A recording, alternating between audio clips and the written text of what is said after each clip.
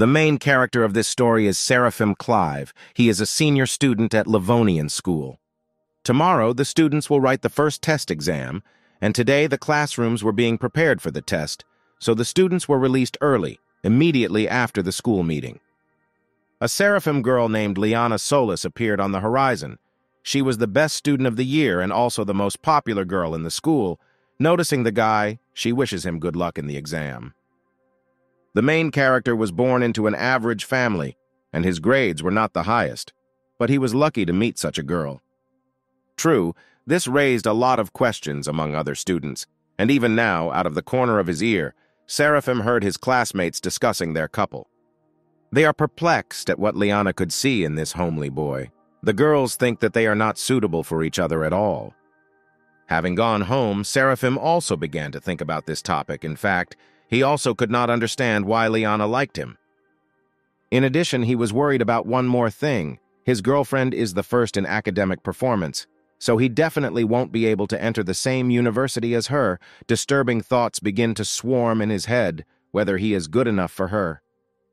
And as soon as he thought that he would like to be like the hero of some novel, some kind of glow suddenly appeared above his head. The light becomes brighter, and an unknown creature appears from it, which immediately greets Seraphim and reports that the activation was successful. Out of fear, the young man hid behind the closet telling the unknown creature not to come closer if it didn't want to deal with his ruler. The creature gets angry and says that the system is not a joke, but the latest high-tech development of Planet X, where you need to complete the tasks of the system, and for this, it will reward the participant. However, she informs Seraphim that for now he is an ordinary user, and in order to become its master and own the system, he will need to pass a test and he adds that the system is already giving him the first task, which includes following his words and becoming one of the 10 best students in the class. Seraphim is perplexed as to how he can do this, unless he can get into the top 10 of the worst, but the creature reminds him that the young man himself said how much he wants to achieve this, but if he does not complete the task, the system will be removed. The main character was scared not only because an impossible task fell on him, he wanted to know if this flying girl would disappear along with the system. But the creature replied that she was not a devil. Therefore, she could not give him impossible tasks. Having said this, she directed an orange beam at Seraphim, which completely engulfed the young man. She had given him a free beginner's kit. It would expire in a month, and how far Seraphim could advance would depend on his willingness to work. Having finished the phrase, she said goodbye and disappeared into space, leaving the hero alone. Seraphim immediately decided to get into the system and try to find out more about all this. Suddenly, he saw a column in which it was mentioned that the system had endowed him with a brilliant memory, and, of course, the young man immediately wants to check it. Taking the book and reading about a couple of pages, he was delighted. It all turned out to be true. He remembered everything. Continuing to admire what was happening, he suddenly came to the idea that if he did not complete the task, the system would immediately delete everything, and it turns out that he would simply have to continue living as before. Seraphim understands that, faced with ridicule and claims, he will not be able to do anything except endure or run away. But he understands that he no longer wants to put up with this, because he finally has a chance to change his destiny.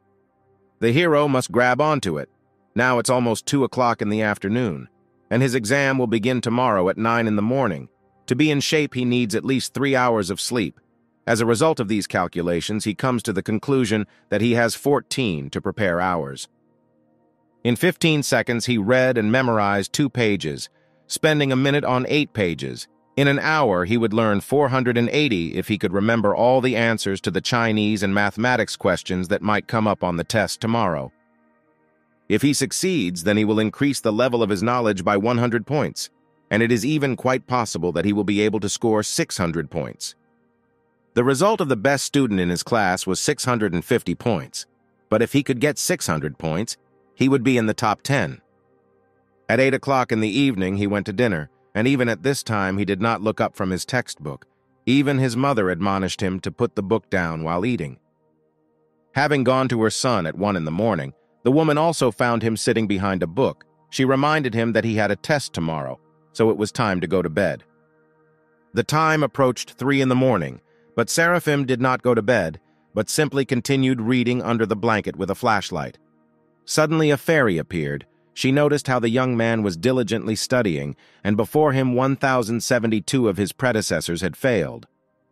After all, even having received the strongest ability, without hard work, it is impossible to achieve anything.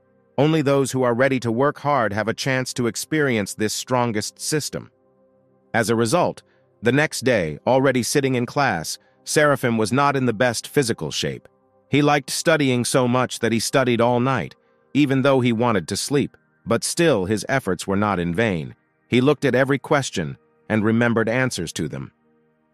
Liana, noticing that her boyfriend looked tired, decided to ask if he was confident in his abilities. Looking at the girl with a tired look, but at the same time smiling contentedly, he stated that he was sure that now he would make it into the top 10. His companion was a little embarrassed. She didn't understand what was wrong with him. It seemed to her that he had somehow changed. This phrase was heard by the rest of the students. Muffled giggles were heard throughout the class, and someone even choked on their drink. Noticing this, Seraphim felt a little awkward. He himself had already realized how too presumptuous it sounded. Liana blushed a little and smiling told the guy that she believed in him. She got up and, having collected her things, said goodbye to Seraphim as she was going to the exam and finally offered to meet later and have lunch together. The young man waved his hand at her, while louder laughs were heard behind him again. The guys were discussing whether Seraphim was ashamed to be such a clown. Realizing that he was being discussed behind his back again, the main character wanted out of habit to simply put on headphones so as not to hear it. But suddenly, out of anger and resentment, he squeezed the earphone, the question again sounded in his head whether he was worthy of dating Liana. With all his soul, he wanted to show everyone what he was really worth. By this time, exam options had already been distributed in the class, and the observer watching the class walked around the room and thought that there were so many weak children in this class, and there was no one here who took the exam seriously. At the same moment, Seraphim was glad to receive the option, it turned out to be one of those questions that he had learned last night. The difference was only in one meaning. And he also knew the answers to the rest of the questions on the form. He couldn't believe that everything except the numbers remained unchanged. Seraphim understands that in this case, 600 points is nothing. He was already sure that he would receive even more than 650 points. The observer noticed how Mr. Clive completed all the tasks suspiciously quickly.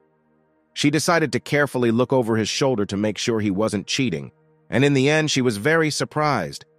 Four days later, Seraphim, coming to class, again received a joke from his desk neighbor named Ian. He again reminded him of the phrase about the top ten. He considered the young man the main braggart of the class, telling him that everyone was waiting for his next joke. Noting that it was his own fault that everyone was laughing at him, Seraphim objected to him, saying that everyone was simply jealous of him, since he and Liana were together, and therefore they were making him a scapegoat. Finally, the teacher entered the classroom with a huge pile of papers. Bringing them to the table, she simply threw them on him. It was clear that the teacher was unhappy. She mentioned in an irritated voice that this was just a trial exam that tested their readiness, and at the same time they analyzed all the tasks in class. Then she could no longer restrain herself and screamed at the whole class because she did not expect that her students would write it so poorly and wanted to know if they do not know how to pull themselves together in a critical situation, then how are they going to go to college? She calls the students one by one, announcing the results and handing over their exam forms. Finally, she called the top student of the class, David Frith. He scored 653 points. He was second in the class, and 72nd in the overall standings. David went to his desk in bewilderment, while everyone began to whisper among themselves and guess who was the first in their class, and everyone became a little tense because there was only one person left, whose results were not announced. Finally, the teacher announced Seraphim. He scored 702 points, was in first place in the class, and second in the overall standings. The young man, happy, went to receive his form, while everyone in the class, including the teacher, was perplexed by what was happening. At the Livonian school, the teachers were already discussing the results of the trial exam. They were surprised how such a weak student was among the best. Someone suggested that the young man was definitely cheating, since the teacher had never in his life seen a student wise up so quickly. The teacher thought, Even if the student had the opportunity to look at the reference materials during the exam, it is unlikely that he would be able to immediately score 700 points like that. Another teacher also thought about this, because it is impossible to find the answer to a question in a book if you have no idea where the necessary material is, which means that the student really prepared hard. Suddenly, the deputy director loudly slammed a stack of papers on the table and loudly ordered the topic to be closed. And then he asked each of the teachers to draw up a new exam version, since he wanted this sensational student to take the test again tomorrow. The next day, sitting in class, Seraphim already had time to think that it seemed like everyone had already forgotten about what happened yesterday. And what was great was that he still remembered all the material he had learned. By this time, his memory had become even better. Suddenly, a teacher came into the classroom and asked Seraphim to go with her to the teacher's room. Before he even set foot outside the classroom, his classmates immediately began discussing his trip to the teacher's room, suggesting that he had been caught cheating. Entering the staff room, he quickly knocked and greeted all the teachers and class teachers. The deputy director immediately suggested that he not beat around the bush, and immediately stated that some teachers doubted that he wrote this exam honestly. There are those who do not believe in him, and therefore he himself personally agreed that Seraphim retake the test. The young man asked a little irritably if he would really be the only one to retake this exam. Another teacher had already carefully pulled out a chair for the student, telling him not to think that they doubted his abilities. He just has to perceive the retake as an opportunity to improve his knowledge. Seraphim sat down at the table dissatisfied, asking if this friendly teacher, who said such nice things, thought that he was actually cheating. But one way or another, the hero was not worried. He learned all the questions, so he was not afraid of a retake. But having taken a closer look at the form, Seraphim suddenly panicked.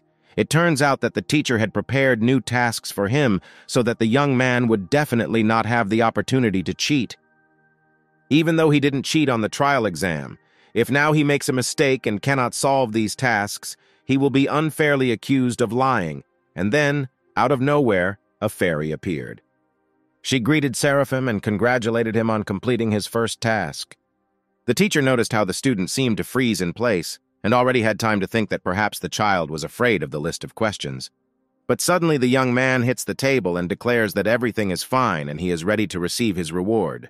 The teacher has a vague belief in his abilities and still considers him a bad student, and his behavior is proof of this. An hour and a half later, he picked up the paper and told the teacher that he was done with chemistry. Another hour and a half later, he handed the exam paper to the math teacher. The entire teaching staff immediately crowded around the teacher to find out whether the student had coped with the task. The teacher replied that she was not sure about chemistry because she did not write the questions, but in all likelihood the answers were correct. But the mathematics is written accurately, pure answers, correct solutions. She confirms that this is without a doubt a great job. One of the teachers begins to get even angrier. If he had known that this was a flower for Seraphim, he would have made the tasks even more difficult so that he would not show off. The teacher adjusted his glasses and asked the other teachers not to worry, since the student would have to work hard with physics. There are such difficult questions that even the best of the best cannot answer them. Seraphim begins to be annoyed by these conspirators, since he hears them all perfectly well, as a result, he turns and smiles to say that he did everything. The last task took a little more than 30 minutes.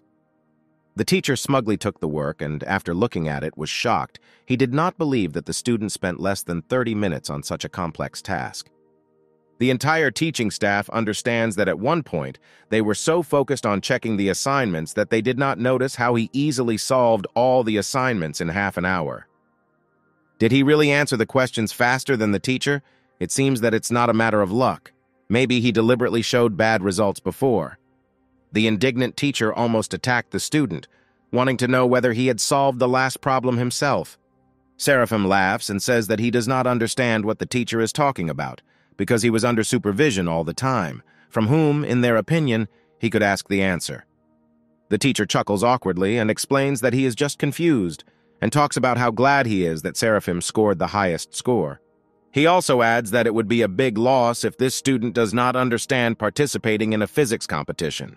The young man wants to know whether competitions give him extra points for the entrance exams, and the teacher gives him a positive answer. Seraphim comes to the conclusion that then he will be able to become the second best student and get into any university. The teacher also confirms his words. But suddenly the sparkle disappears from the student's eyes, and to the surprise of the teacher, he says that this is not particularly important for him and he will not participate. And if there are no more questions for him, he asks to leave. Having said this, he quickly headed towards the exit. Walking along the corridor, Seraphim thinks about how good it is that he completed the first system task and received a reward, however. He doubts that everything will be easier further. Three hours ago, he received the award and immediately felt as if his mental abilities had improved. The voice of Liana, who was also walking along the corridor and noticed her companion, pulls him out of the abyss of his thoughts. Seraphim, without hesitation, headed towards her, surprised at what she was doing on the sixth floor. It turns out that she found out that he was called to the teacher's room and wanted to ask if everything was okay with him. The young man immediately admitted to her that he was forced to retake the exam. Everyone thinks that he could not improve the level of his knowledge in such a short time, and the young man himself would like to know whether Liana believes him. The girl approached him and gently cupped his face with her hands. Looking him straight in the eyes, she stated that they can think what they want, but she believes in him. Even though his progress is truly incredible, she knows that he would not lie to her. Seraphim is pleased to hear this, but he still wants to know if she really thinks so. Liana blushes even more and says that if he continues in the same spirit, then they will be able to enter the same university. Seraphim was already preparing to hug his beloved when the teacher came out of the teacher's room, muttering to himself that the student was clearly not telling something, and if he was so smart, then why was he afraid to take part in competitions? Raising his head and seeing how the young man was standing close to the girl, the teacher pulled him back and immediately began to scold him for inappropriate behavior at school. Seraphim doesn't understand what the problem is because he doesn't do anything like that, but everything is serious with Liana. The teacher becomes even more furious because the student does not understand what the problem is. The teacher is angry because what kind of relationship can there be? After all, they are still school children, and their studies can suffer from such love. The young man decides to clarify one question with him. Where he is on the list of academic performance, gritting his teeth, the teacher answers him that he is second. Then the question touched on Liana, and then the teacher had to answer that the girl took first place. Seraphim throws up his hands and does not understand how, in this case, the teacher may still doubt that the relationship negatively affects their performance. Liana could not restrain herself and began to laugh. The teacher clearly did not like this, and he asked the young man not to talk nonsense. He decides to remind the student that his place in the overall standings has not yet been confirmed. Seraphim objects since the deputy director approved the results of his retake, and apparently the teacher suspects the student of colluding with him. The teacher asks not to cling to his words.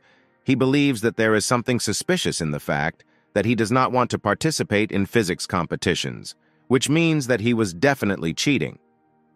Liana could not stand it and decided to stand up for her boyfriend, asking teacher Leon to stop insulting his students. Suddenly, the young man takes her by the shoulder and, looking into her eyes, winks saying that Leon has a reason for this. In any case, after everything the teacher said, he still wants Seraphim to take part in the competition, and the young man wants to know if this is so. The student is ready to do this, but only on one condition, if teacher Leon makes a bet with him. If he loses, he will do whatever the teacher asks of him, but if he wins, Leon will have to treat their entire class to chicken. The teacher was a little taken aback, as he thought in his head how much money he would have to spend in case of loss to buy a chicken for 50 people. Seraphim never tires of teasing him, saying that at first he accused him of passing the exam dishonestly, and now he is also afraid to enter into an argument with him. As a result, after thinking a little more, the teacher still agrees to this bet. A few more days passed, and the physics competition finally ended. It was raining heavily outside that day, and all the students wanted to quickly take their seats on the bus. Teacher Mary, who was sitting on the bus, was clearly not in the best mood. She doubted that good results should be expected from these students. But in practice, it is true, the Livonian school has never been strong in such competitions. The teacher who is supposed to be the team leader took the day off and asked Mary to fill in for him. The school doesn't seem to care much about this competition. The teacher was upset not only because she had to replace another teacher, but also because she lost to a new teacher named Lucinda Maxwell. But she still thinks that no matter how much experience Lucinda has in classroom management, her students will still be far from her. Five days later, the staff room was again more crowded. Of the students, Liana and Seraphim were there, and the young man decided to ask the girl why only they were invited here. Liana suggested that perhaps they want to announce the results of the competition, the deputy director finally became convinced that everyone had gathered and already wanted to give the floor to the director. Noticing that the students are whispering among themselves, Mary does not hold back and begins to scold them because they imagine that if they earned a lot of points, then now they have the right not to listen while the teacher is talking to them. Next, Mary looks sarcastically at teacher Lucinda, as if hinting that her students were behaving inappropriately. Seraphim, seeing this picture, decided to butt into the conversation, saying that he did not understand what teacher Mary was talking about, and that he did not think that they behaved disrespectfully towards the teacher. Mary noticed that Seraphim and Liana were holding hands and decided to remind them that students are forbidden to be in relationships, but here they are walking arm in arm. All eyes immediately turned to teacher Lucinda. Seraphim realized that Mary did not get along with their class teacher, so she decided to take it out on her students. The young man realized that he needed to act. He raised his hands with Liana and loudly announced that they were dating. And no one expected what he did next. Seraphim pointed to the director and said that he knew everything about it and was not at all against it. The director even choked on his drink at such news. He didn't remember saying anything like that. Seraphim continues. The director promised that if they take a prize in the physics competition, then they will be able to officially date. The young man understands that if Mary wants to turn all the teachers against him, this will not happen. The deputy director decided to intervene and, winking at the director, said that he was also aware of this agreement. The director slapped himself on the forehead and pretended that he remembered how they discussed this, and the school was ready to allow a lot for such a wonderful student as Seraphim. Now that he had the support of many teachers, he felt his complacency growing by the second. Mary tries to object to the director, but he interrupts her and asks her to let him announce the important news. It turns out that at a physics competition, their school took first and second place. First place was taken by Seraphim Clive from Class 3-3, and second place by Liana Solis from Class 3-1. The director solemnly begins to clap his hands and wants everyone to praise the students and congratulate them on their victory. Mary hears how everyone begins to applaud in unison, and she cannot believe that Seraphim won this competition. She is also finished off by the fact that one of the teachers congratulated Lucinda on winning the competition. She had never heard of him before this incident, and she suspects that Liana could not train him that well. And if Mary were the head of the third class, then all the congratulations would go to her, and not to Lucinda. She was overcome by envy. Mary was sick of thinking why Lucinda was so lucky. While everyone was leaving the conference room, Teacher Leon stopped Seraphim. The teacher smiled and reminded them that their bet was still valid, and he would be happy to buy a chicken for their class. The young man was a little surprised because he didn't think that the teacher would take him seriously. He was just joking about the bet. Leon objects it was a fair dispute and he must keep his word because the teacher cannot do otherwise. Seraphim understands that it seems that the teachers are not really trying to make life difficult for their students. It's just possible that they can be a little impatient and pushy sometimes. Already in the lesson, Mary scolded her class for making many mistakes in such simple questions. She wants them to follow the example of Seraphim from Class 3-3 because he only needed a month of preparation to take first place. Satisfied Seraphim, sitting in class, continues to think about teachers and understands that sometimes they are simply worried about their performance. Mary continued to be angry with her class. She wanted them to follow the example of the winning student, because after passing the exams, he also took part in competitions, where he took first place. Leon still kept his promise, and the whole class went to eat the goodies together. Mary did not end her tirade. She shouted that among her students there were simply no such hardworking students as Seraphim. The school children noticed that their teacher had already mentioned this Seraphim ten times. If they didn't know, they would have thought that this was her student. One of the students sitting in the back desk even seriously wondered who this Seraphim Clive was. The fairy again appeared to the student, and said that since he had successfully completed the first mission, and therefore, as a reward, she would grant him the ability to quickly comprehend, now he would be able to solve the assigned problems in one moment. Seraphim was delighted, and from then on he was able to cope with any task. Leaving the class, Ian tried to stop him, who wanted to find out if he was going home. The young man confirms and wonders why his classmate is not going home. The fat man reminds him that today they will have a match with the first class, and from the third parallel, Seraphim plays basketball best of all, and if he does not go with them, then they will definitely lose. The young man doesn't want to take part in this at all, so he begins to make excuses that he's been so busy lately and almost forgot about basketball. But seeing how upset Ian is, he picks him up and holding him says that it's time for them to go to the field and crush their opponents to smithereens. They arrived on the field and were immediately greeted by their team members. But his rivals also noticed him. One of them named Frank Kish, addressed Seraphim's class as scum, and wanted to know if they were ready to lose. The young man was just changing into his uniform and turned to Frank with a request to chat less, because they had gathered here to play and not to chat.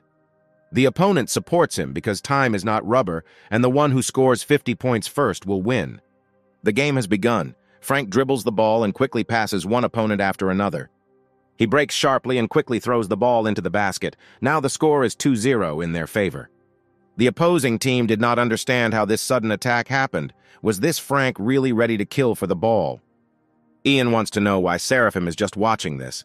Frank, meanwhile, turned to them and told them to continue to stand on the sidelines, because this way he will definitely beat them.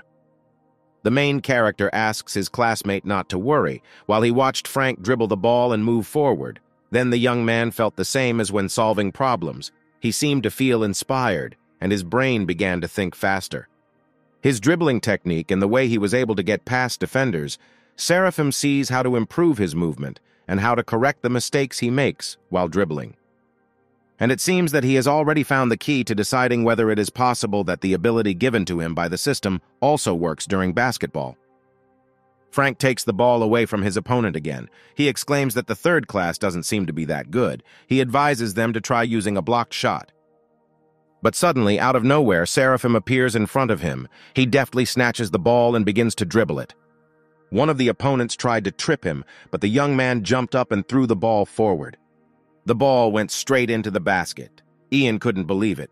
He watched his friends play and saw that he played exactly like Frank, only Seraphim's throw was stronger and faster.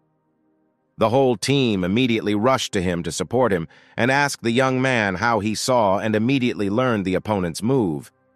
Meanwhile, Frank was angry with his teammates, calling them losers, since no one stopped this brat who was throwing the ball. But the players do not agree with his claims. Why does he blame only them? because in fact, Seraphim stole his ball handling technique. The game continues and Frank, again entering the field, shouts to the third class not to be arrogant because they have just started the game. Seraphim grinned and said that although Frank did not understand it, the game was almost over. After another 30 minutes, almost all the opponents were already lying on the field from powerlessness. The main character reports that the score is currently 47 and 2 in their favor and thinks that he needs to go easy on the opposing team. But he notices that the opponents have even stopped resisting. Then Seraphim decides that it's time to test himself. He wonders what his limit is. He moved further away and began to aim. Frank noticed this and was shocked. His opponent was standing three steps beyond the three-point line. Seraphim understood that this throw would probably be 100% successful. Already, both teams were simply watching this with bated breath and saw the moment when the ball hit the hoop from such a distance. After this, Seraphim already realized that the game was over and was about to leave. Finally, he wants to find out whether the opponents are still ready to play with them, because this is just a waste of time. And he complements this with the phrase that next time they could only play with him. The next day, Frank lost all mood to play because of Seraphim. At the same time, many players on the court happily threw the ball into the basket. A player named Brown Cole threw one ball after another, a couple more throws, and the number of hits would exceed a hundred. Brown noticed Frank behind the field bars and invited him to come out and play with them. But Frank rejects his proposal because he has no desire at all. The young man wants to know if he really lost with a score of 50 and 0. Frank shyly says that if he were as talented as Brown, he would not have let Seraphim down. The young man thought about it because he had already heard this name somewhere and even supposedly knew that this student was in third grade. Brown recalled that this might be the student Mrs. Lucinda had told the class about. And his classmates also constantly talk about Seraphim. Now, even after lessons he has to hear this name, it infuriates him that this young man is now everywhere he looks. Brown throws the ball away and asks Frank to talk about his game with Seraphim yesterday. A little later, Ian and Seraphim were walking along the basketball court, and he, the main character, asked his friend to go first while he waited for Liana. And then, out of nowhere, a basketball, possibly deliberately thrown at him, rushed straight at the young man. Brown and Frank stood on the court, clearly waiting for the young man.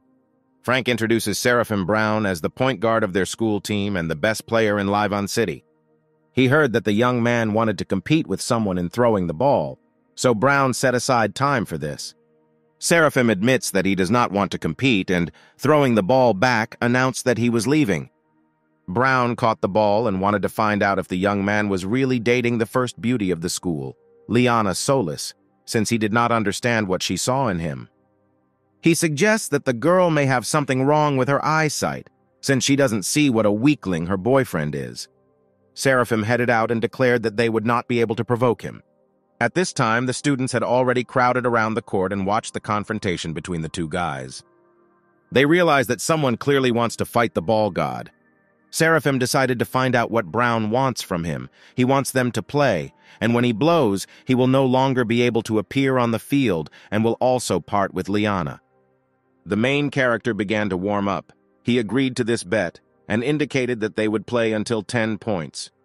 But if his opponent loses, he wants Brown to call him Big Brother, the young man agreed, but said that first the guy would have to defeat him. The spectators expected Brown to win this dispute because he is the best scorer among high school students in the province. They do not understand how Seraphim dared to challenge him. Meanwhile, Mr. Cole had already scored the first ball. Seeing this, all the girls blushed a little and began to support the young man. Brown did not stop, but demonstrated how he accurately hit the hoop from different points. Everyone saw that the young man, as always, was in excellent shape, and he was able to throw the ball into the basket nine times out of ten. They even suggest that it would be better for Seraphim to give up right away and not disgrace himself. Brown threw the ball into the hands of the protagonist and declared that now it was his turn. The young man stood up and, concentrating and measuring the distance, he launched the ball. Everyone watching was surprised because the rotation of the ball in the air was too strong. The ball went through the ring and, falling to the floor, bounced off and fell straight into the hands of Seraphim. Everyone was shocked by this reception, since they did not have any special hopes for the young man. Then they watched as nine balls had already hit the basket, and the player didn't even move. Brown didn't understand what the hell was going on. It didn't even look like he was superhuman. The students noticed that unlike Brown, who constantly ran after the ball, Seraphim seemed to handle the ball much more freely. They considered him a real god of basketball. Before the opponent's last throw, Brown noticeably tensed, wondering if Seraphim would score all 10 goals. While preparing to throw, the main character noticed that the coach of the basketball team, Mr. Sions, was standing with the students. This alarmed him, because he just wants to go to the same college with Liana. And the main thing is that he is no longer forced to take part in different competitions, as he was then in physics. And after thinking about it, he throws the ball and to everyone's surprise does not hit the basket. Seraphim looks at Brown and, laughing, announces that it looks like they have a draw. At this time, Mr. Seance comes forward and asks the young man to go with him to the office of the deputy director. Frank at this time admits to Brown how worried he was and already believed that the guy could not be defeated. But you can't fool the best player. He saw that his opponent missed on purpose. The young man noticed how Seraphim looked at their coach, and then threw an oblique three-pointer. Frank doesn't believe the opponent simply wanted to preserve Brown's reputation. Mr. Cole noted that you rarely meet such easygoing people as Seraphim after all this. The young man even respected him. Already standing in front of the teacher's room, the main character began to think the lessons were over, why suddenly the deputy director called him. Upon entering the room, he immediately saw the deputy, who greeted the student and ordered him to sit down, stating that as long as everyone was assembled, they could begin.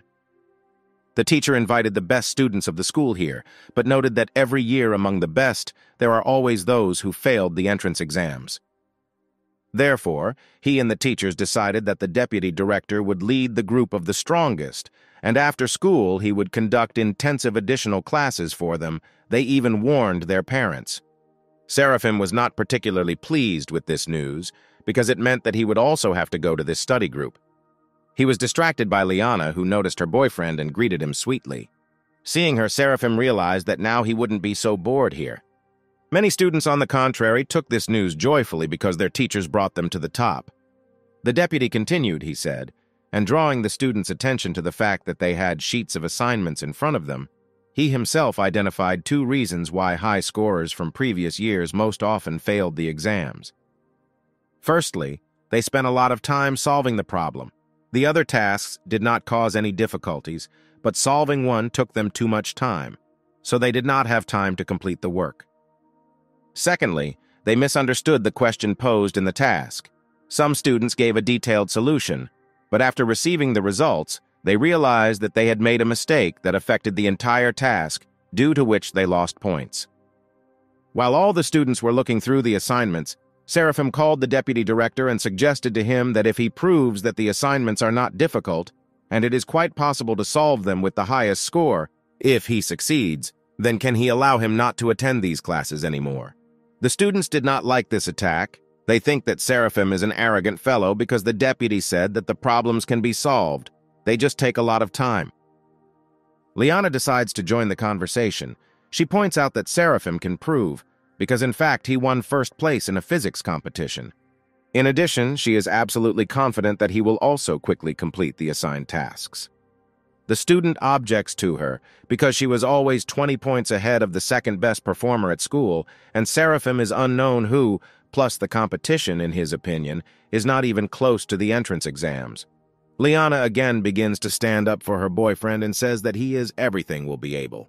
The deputy is trying to break up the arguing school children because they are here to study, and at the same time he wants to know why they are arguing with each other in the first place.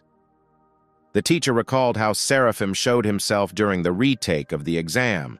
He solved problems quite quickly and correctly, and in this case he thinks that his experience can be useful to the children, so the deputy asks to share it with them. The young man just wanted to object to the deputy, but he reminded him that when the question of his relationship with Liana arose that time, he and the director supported him. Seraphim breaks off, his cheeks begin to rapidly turn red, and he thanks the teacher for his generosity that time.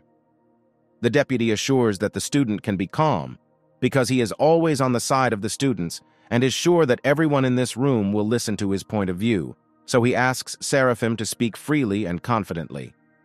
The young man decides to try anyway and begins to say that in his opinion, in order to achieve greater speed in solving problems, they need more practice but they can improve their skills by memorizing examples of solving problems in advance. This is something like a software algorithm of actions, when before the main one there is also a preliminary process. Having memorized a sample solution to problems in advance, they significantly improve the efficiency of their work. For example, they might take a genetics problem that is worth average and takes some time and is therefore challenging. Similar problems take place in high school. In front of them, there are 16 ways of developing the situation, including various combinations, for which you need to create several solutions and remember the formulas. And when this problem comes across, it can be solved in a shorter time. One of the students objects, because for this method you need to remember a lot of things, and if, for example, they don't come across such a task, they will simply waste time. Seraphim suggests that everyone choose the best option for themselves, rote memorization before the exam or wasting time during the exam. The deputy liked the young man's option because the advantages of this method are enormous. Students will be able to spend not 30 seconds, but three on solving the task. Further, Seraphim suggests, in order not to get confused in the question itself and to highlight the necessary information, simply write down the solution on a separate sheet and use the formula to solve it. He compares it to playing chess, it's one thing to check and another to checkmate. He believes that those who go beyond their capabilities will be able to cope with any task. but students doubt that it is worth so much effort and whether it is even realistic. The deputy believes that there is common sense in Seraphim's words, of course. Students are not obliged to follow everything he advised, but there are some things worth listening to. Suddenly, the young man felt a strange feeling, and out of nowhere he heard a notification that the system had granted him a new ability called the Feynman method of studying. A month later, at the next meeting of the best students, the deputy congratulated Seraphim because he overtook all the students at the school and finally took first place in the trial exam. The hero turns to the teacher and says that he should thank him for these services. This time he managed to finish the test 10 minutes before the allotted time, and thanks to this he became more confident about the entrance exams. Another student also shared his experience, having worked with the group for two weeks on exam options. He felt that he had a better understanding of the concept of working on difficult questions. Seraphim chuckles and replies that he is only happy to help everyone, but he is confident to himself that none of the guys, without a system like his, will reach his level. To his surprise, he notices that Liana is behaving somewhat distantly, and sadness is clearly expressed on her face. He wants to find out from her what's wrong. Maybe she's angry that he overtook her in the school test. But Liana replies that that's not the point, and she's very happy for him. Seraphim is still trying to find out why she feels bad, but the girl just refuses. Then the guy takes more drastic measures and, grabbing Liana by the hands, asks that if she cares about his feelings, then she should tell him the truth. Meanwhile, the deputy declares today's meeting over and all but a couple of students quickly begin to get ready. Left alone, Seraphim once again asks her to tell him everything, and this time Liana agrees. She quietly tells him that they may not be able to go to the same college. Yesterday, her mother suddenly told her that she wants Liana to study abroad. The girl is worried because she already anticipated that when Seraphim's grades improve, they will be able to continue studying together. The young man was also alarmed by this news, but he tries to calm Liana down, saying that they will definitely come up with something. They both end up at a reception with Miss Devona Solis. Liana tries to start a conversation and addresses her as her aunt. Devona laughs because she allows herself to be called auntie, since she is not one of those old-fashioned mothers who forbids her child to date. In addition, she trusts her daughter, and it is immediately clear from Liana that this conversation is difficult for her. However, despite the fact that Miss Solis is not against their relationship, she still believes that first of all, Liana needs to think about her future. Miss Devona has a goal. She wants to give her daughter the best education. Seraphim listens to her and analyzes the situation, because thanks to the system, the best education is now available to him. He is sure that no university can compare with it. But there is a problem. He cannot just go ahead and tell everyone else about it, and besides, he is afraid that no one will believe him. Auntie suggests that if Liana's boyfriend came here to convince her, then she is ready to listen to him. Seraphim supports her and asks his girlfriend to let him talk to her mother. He begins his conversation by understanding how Miss Devona is worried about her daughter but he wants to know what she means by a good education. A diploma graduated with honors or a well-equipped, expensive campus. The aunt smiles and replies that she doesn't think this is the most important thing. She was interested in finding out what a good education includes, according to the young man. Seraphim enthusiastically shouts that this requires thinking people, masters of their craft. After all, they are the foundation of education, and in their country they can also get the best education. Devona, hearing his speech, clapped her hands, noting that it was all well said. She was directly amazed, but he still missed something. Seraphim realizes that he missed this important component, connections. The young man activated the ability to anticipate his opponent's action and received a rookie card. Devona confirms that everything, as he said, all the power is in the people, Miss inflicts four blows on all the opponent's followers. The woman notes that by keeping in touch with her college friends, it will be easier for them in the adult world. The opponent discards the harsh reality card and hits Seraphim's cards. The young man realizes that she has made a powerful code, but accepts it. He turns to Devona and says that this may sound incorrect on his part, but he still wants to say that those who have power acquire connections. Maybe it's really important for some to make connections in college, but he and Liana don't need it. Miss Solis is funny. Usually those who are lower in status are afraid to even breathe next to her. For a long time she has not met such a young man as Seraphim. She notes that it is very rare for a high school student to show such courage. The young man even reminded her of himself in his youth. Liana is surprised by this behavior of her mother. She has never seen her like this. Seraphim is happy that it seems that his argument about the fact that strength is in people has found a response in the aunt's heart, and perhaps things are going well. And then an interesting thought occurs to him. He jumps up from the sofa and, turning to Devona, invites her to make a bet. Auntie decides to ground Seraphim a little, reminding him not to forget that he is still in school, and she doesn't want his impulse to affect his studies. Her hero promises that his studies will not suffer from this, because he wants to bet on his scores in the entrance exams. If he gets the maximum score, then she must promise that she will allow Liana to stay in China. If he does not succeed, then he will do whatever she wants. From such speeches, Devon was perplexed. She does not believe what the young man is saying. How can he get 750 points? He is clearly out of his mind. Seraphim admits that he understands that this is not at all easy, and no one has ever managed to get the highest score in the entrance exams. But if he is not able to do even this, then how can he consider himself worthy of Liana? How can he then have the courage to ask her to stay with him? Devona replies that at first Seraphim surprised her in a good way, but she did not expect that he would have such a high opinion of himself. But in the end, she agrees to make a bet, but if he loses, then she will think whether he is worthy of her daughter. Liana tries to object to her mother, but Devona continues to be angry. She will not trust her daughter to such an egoist. Miss Devona stands up and replies that she is tired and asks her daughter to accompany Seraphim to the door. Liana is worried, but the young man asks her not to worry because he can convince her mother. And yet it was already late, and he was about to leave anyway. Heading towards the door, he realizes that he didn't think he would screw up like that. He blames the system and thinks that he will never forgive it for this.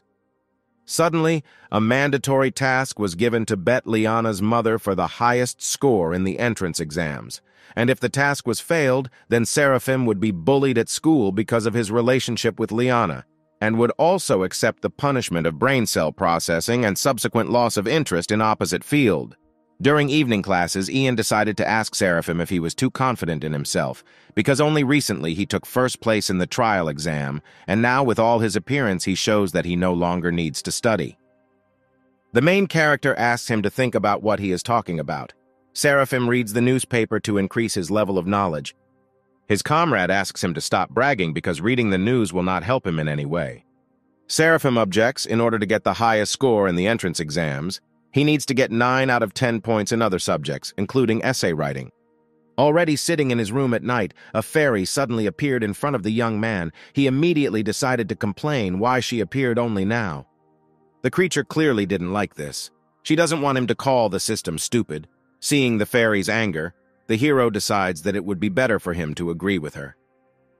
But he really wants to find out what kind of task the system gave him. The fairy does not understand what he is talking about because additional information is not provided. But she told him that the system wouldn't give him a task that he couldn't handle. Seraphim couldn't believe his ears. Could he really get the highest score in the entrance exams? But the fairy decides it would be better to remind him he recently won a basketball game and she is here to give him a reward.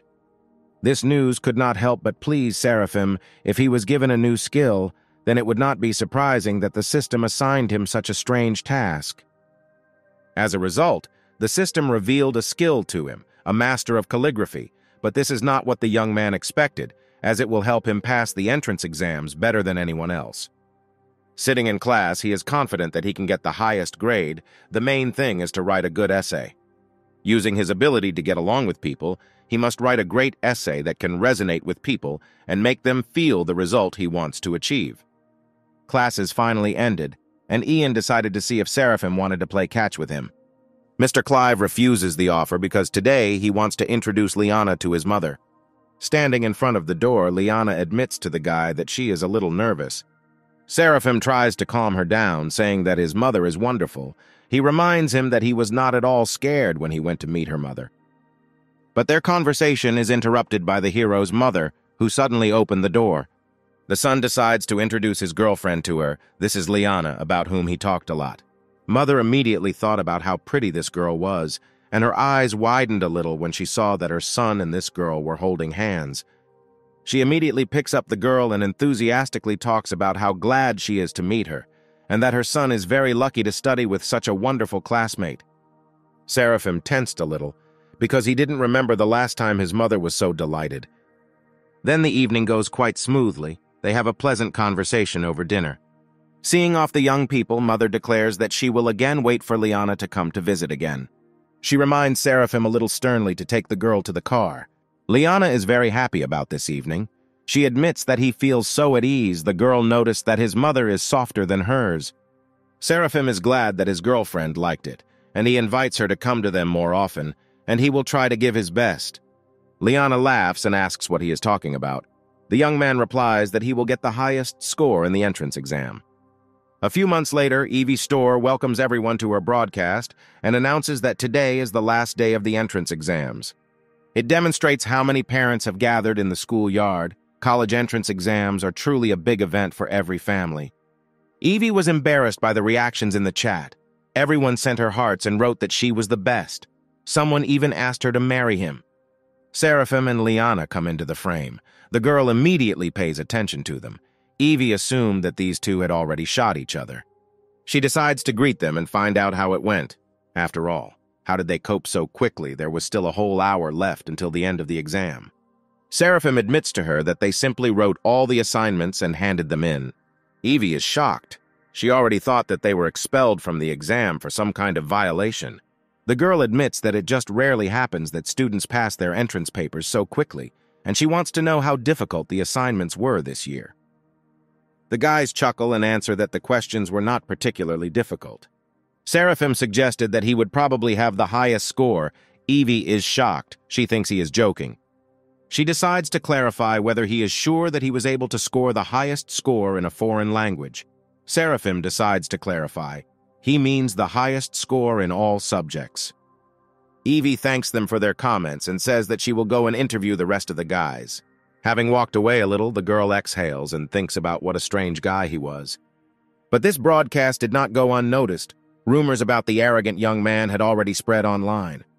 Even the newspaper of the Livonian school published a story about a high school student shouting loud words, and this caused a wave of controversy.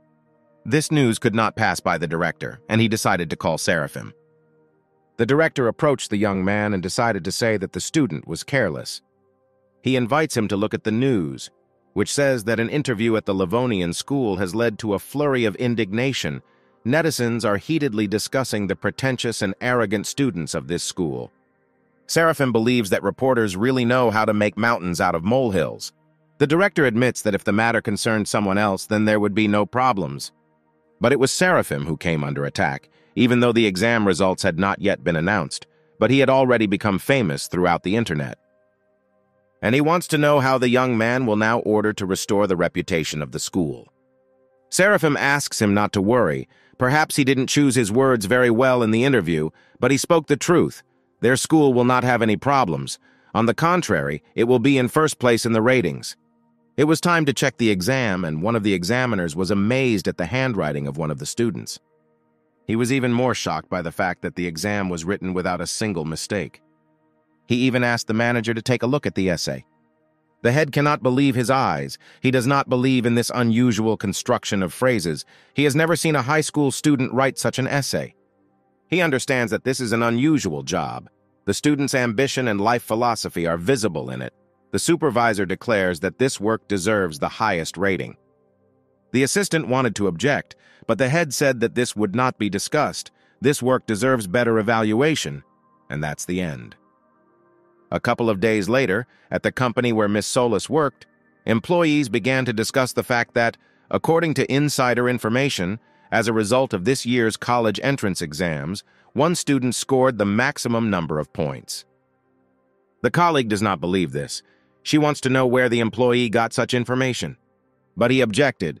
Does it matter? In a few days, the results will be posted and the truth will be revealed. Miss Devona overheard this conversation and wondered if it could be about Seraphim Clive.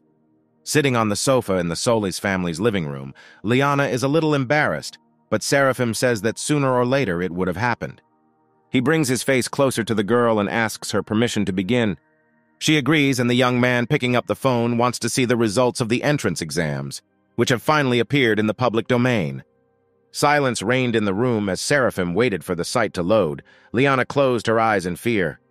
Miss Devona unexpectedly entered the house and announced from the threshold that she had received some news this morning. Liana immediately ran joyfully to greet her mother. Devona noticeably blushed when she saw Seraphim in the room as well. The young man also stood up to greet Miss Solis and apologized in advance for the disturbance. Liana happily tells her mother that they finally found out the exam results. Devona asked if the young man wanted to tell her something, and then Seraphim solemnly showed her the website page, which indicated that he had taken first place and scored the maximum number of points in the exam. After that, he hesitated a little, as he noticed that Devona was somehow not particularly surprised. But she already suspected in advance. As soon as she heard the conversation of her colleagues, she already knew who the winner was. She told Seraphim that today's news had already reported about a student who scored a record number of points in the exam. The young man didn't like this. These media didn't really let him breathe. Liana, a little afraid, asks her mother what she now wants to say about studying abroad. Devona, of course, allows her daughter to stay in China as she promised. Miss Solis was very surprised because the fact that Seraphim received the maximum score is amazing. But as it turned out, this was not enough to impress Miss Devona. What she really liked was that he showed courage and determination, as well as the ability to back up his words with actions. Approaching Seraphim, she pats him firmly on the shoulder and declares that from now on she trusts her daughter to him. The young man cannot help but rejoice. He confirms that she is entrusting her Liana to good hands. While the guys were happy that everything had worked out, Devona was already thinking that in a few years, the young man would stop calling her aunt. Liana could not resist and threw herself on Seraphim's neck, shouting that she was glad that they had managed it. But their rejoicing is interrupted by Miss Solis, who decides to tell her that the guys have to promise her something. She states that she doesn't want any grandchildren until after college. Liana and Seraphim immediately blushed. They did not believe that their aunt was telling them such things. Devona reminds them that they are still too young, and she doesn't want to become a grandmother before they graduate from college. Liana rushes to her mother again to hug her and ask her to stop talking about the topic of becoming a grandmother. Seraphim decides to intervene and asks Miss Solis not to worry. He promises that this will not happen. He and Liana will not go that far until they graduate from college. Devona says that he trusts the young people. If he was able to get the highest score in the entrance exams, then he must keep this promise. Seraphim made this promise and immediately began to hope that perhaps it would not be so difficult. At that moment, his mother called, and he immediately picked up the phone to answer her.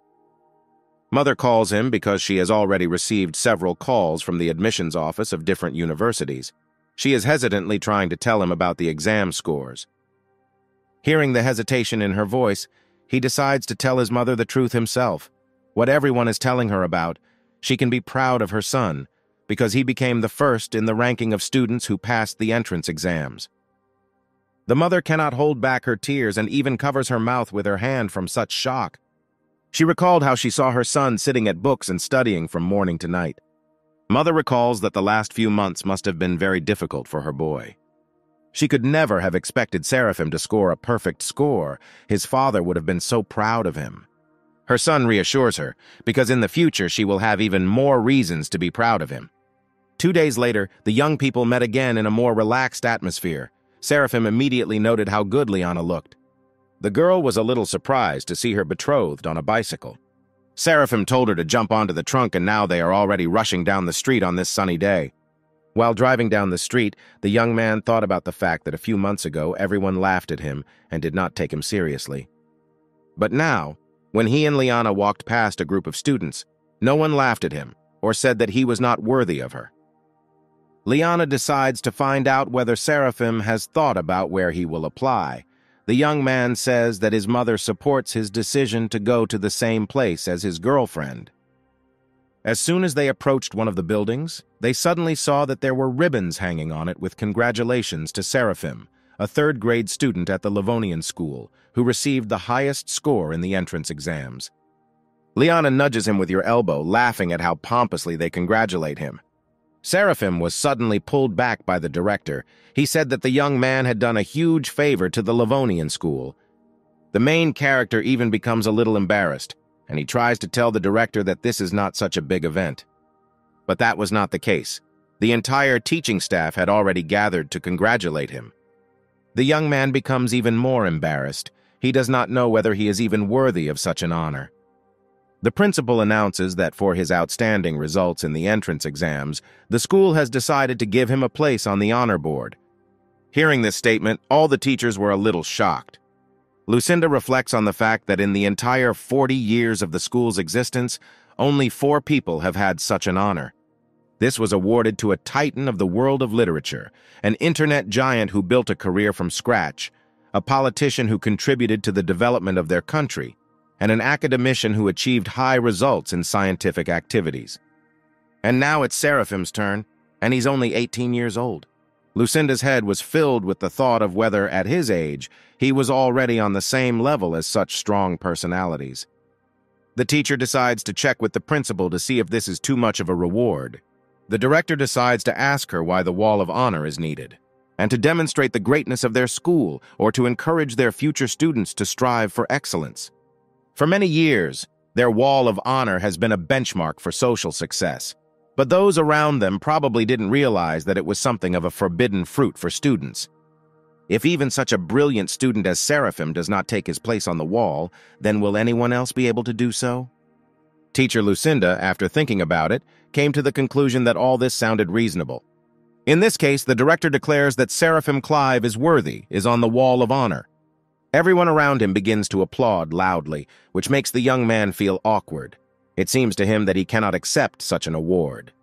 The director is trying to convince him, is it really possible that now everything he said here will be in vain? He decides to whisper in the student's ear that thanks to him, their school received a grant for a tidy sum. And plus, for everyone who is listed on the Wall of Honor, the grant amounts to an even larger amount of money. The main character was even speechless from such amounts. But at the same time, these speeches inspired Seraphim, and now he considers it his duty to serve as an example for other students. The director is happy because this is exactly the ambitious approach he expected from him. And the head of the school also said that Seraphim will need to do something later, so he should be ready. He reports that the media wants to interview him, so he must not let his alma mater down and perform well. The director heard that it would be broadcast live and would gather a lot of viewers in front of the screens because Seraphim was, after all, the first in the history of college entrance exams to receive the maximum score. Journalists have already gathered in the conference room. The first interview is with the director, who says that this year their school was once again able to achieve excellent results. Until Seraphim's turn comes, he is wondering how he can literally give a grant for such a large amount of money for nothing. Finally, the interviewer gets to him. She wants to know if he has anything to say to the younger generation. The young man immediately hesitated, because he couldn't say that they didn't have a system like his. Although in theory the system is only half the battle, he was able to achieve such results also thanks to the skills given to him. If you think about it, what helped him the most was that the tasks of the system were mandatory to complete. If he had not worked until he was exhausted every time, he would have been able to use his skills to the fullest. He is going to give one piece of advice and says that you should not be afraid to lose face. Seraphim knew that at first many people would laugh at him, and to be honest, he was a little scared. And he thought that if he didn't try, he wouldn't fail. He thought that people didn't even realize how often these words were repeated. Although they admit to liking a person, they are afraid to look him in the eyes, at the decisive moment, they are afraid to act, and they blame themselves for this. They are afraid of failing the exam, and so on. He believes that I need to get into the habit of telling myself that I am determined, which means I can do it. This way the goal will not seem so unattainable. Of course, he himself would not have achieved such a result without luck and the help of others. But he still wants to share something that will serve as a support for young people in the future, the secret is that he is not afraid to fall in the eyes of others. At this moment, many students were watching this live broadcast, and they listened carefully to what Seraphim was saying. Suddenly, the young man heard a strange notification from the system. She congratulated Seraphim. For the love of his fans, he received 10,000 points, and now the lottery has been successfully launched. While in his living room, the main character listened carefully to the fairy, who explained that he had one chance to win the lottery. She wants to know if he confirms the launch of the lottery. Seraphim happily agrees to this.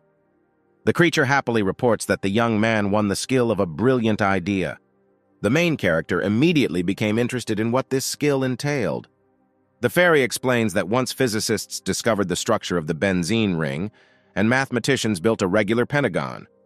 Nowadays, students understand all these things, but previously, these were real scientific discoveries, or, in other words, brilliant ideas. Seraphim is full of enthusiasm and wants to try out his new skill as soon as possible. The fairy leaves the young man alone with the tasks of the top five mathematical hypotheses. Seraphim gathers his strength and begins to activate the brilliant idea ability. Hours passed, and only in the evening he was able to finish his calculations a little. Suddenly, someone knocked on the front door. My mother immediately entered the room because it was already five in the evening, and she had no idea who it could be behind the door since they were not expecting anyone.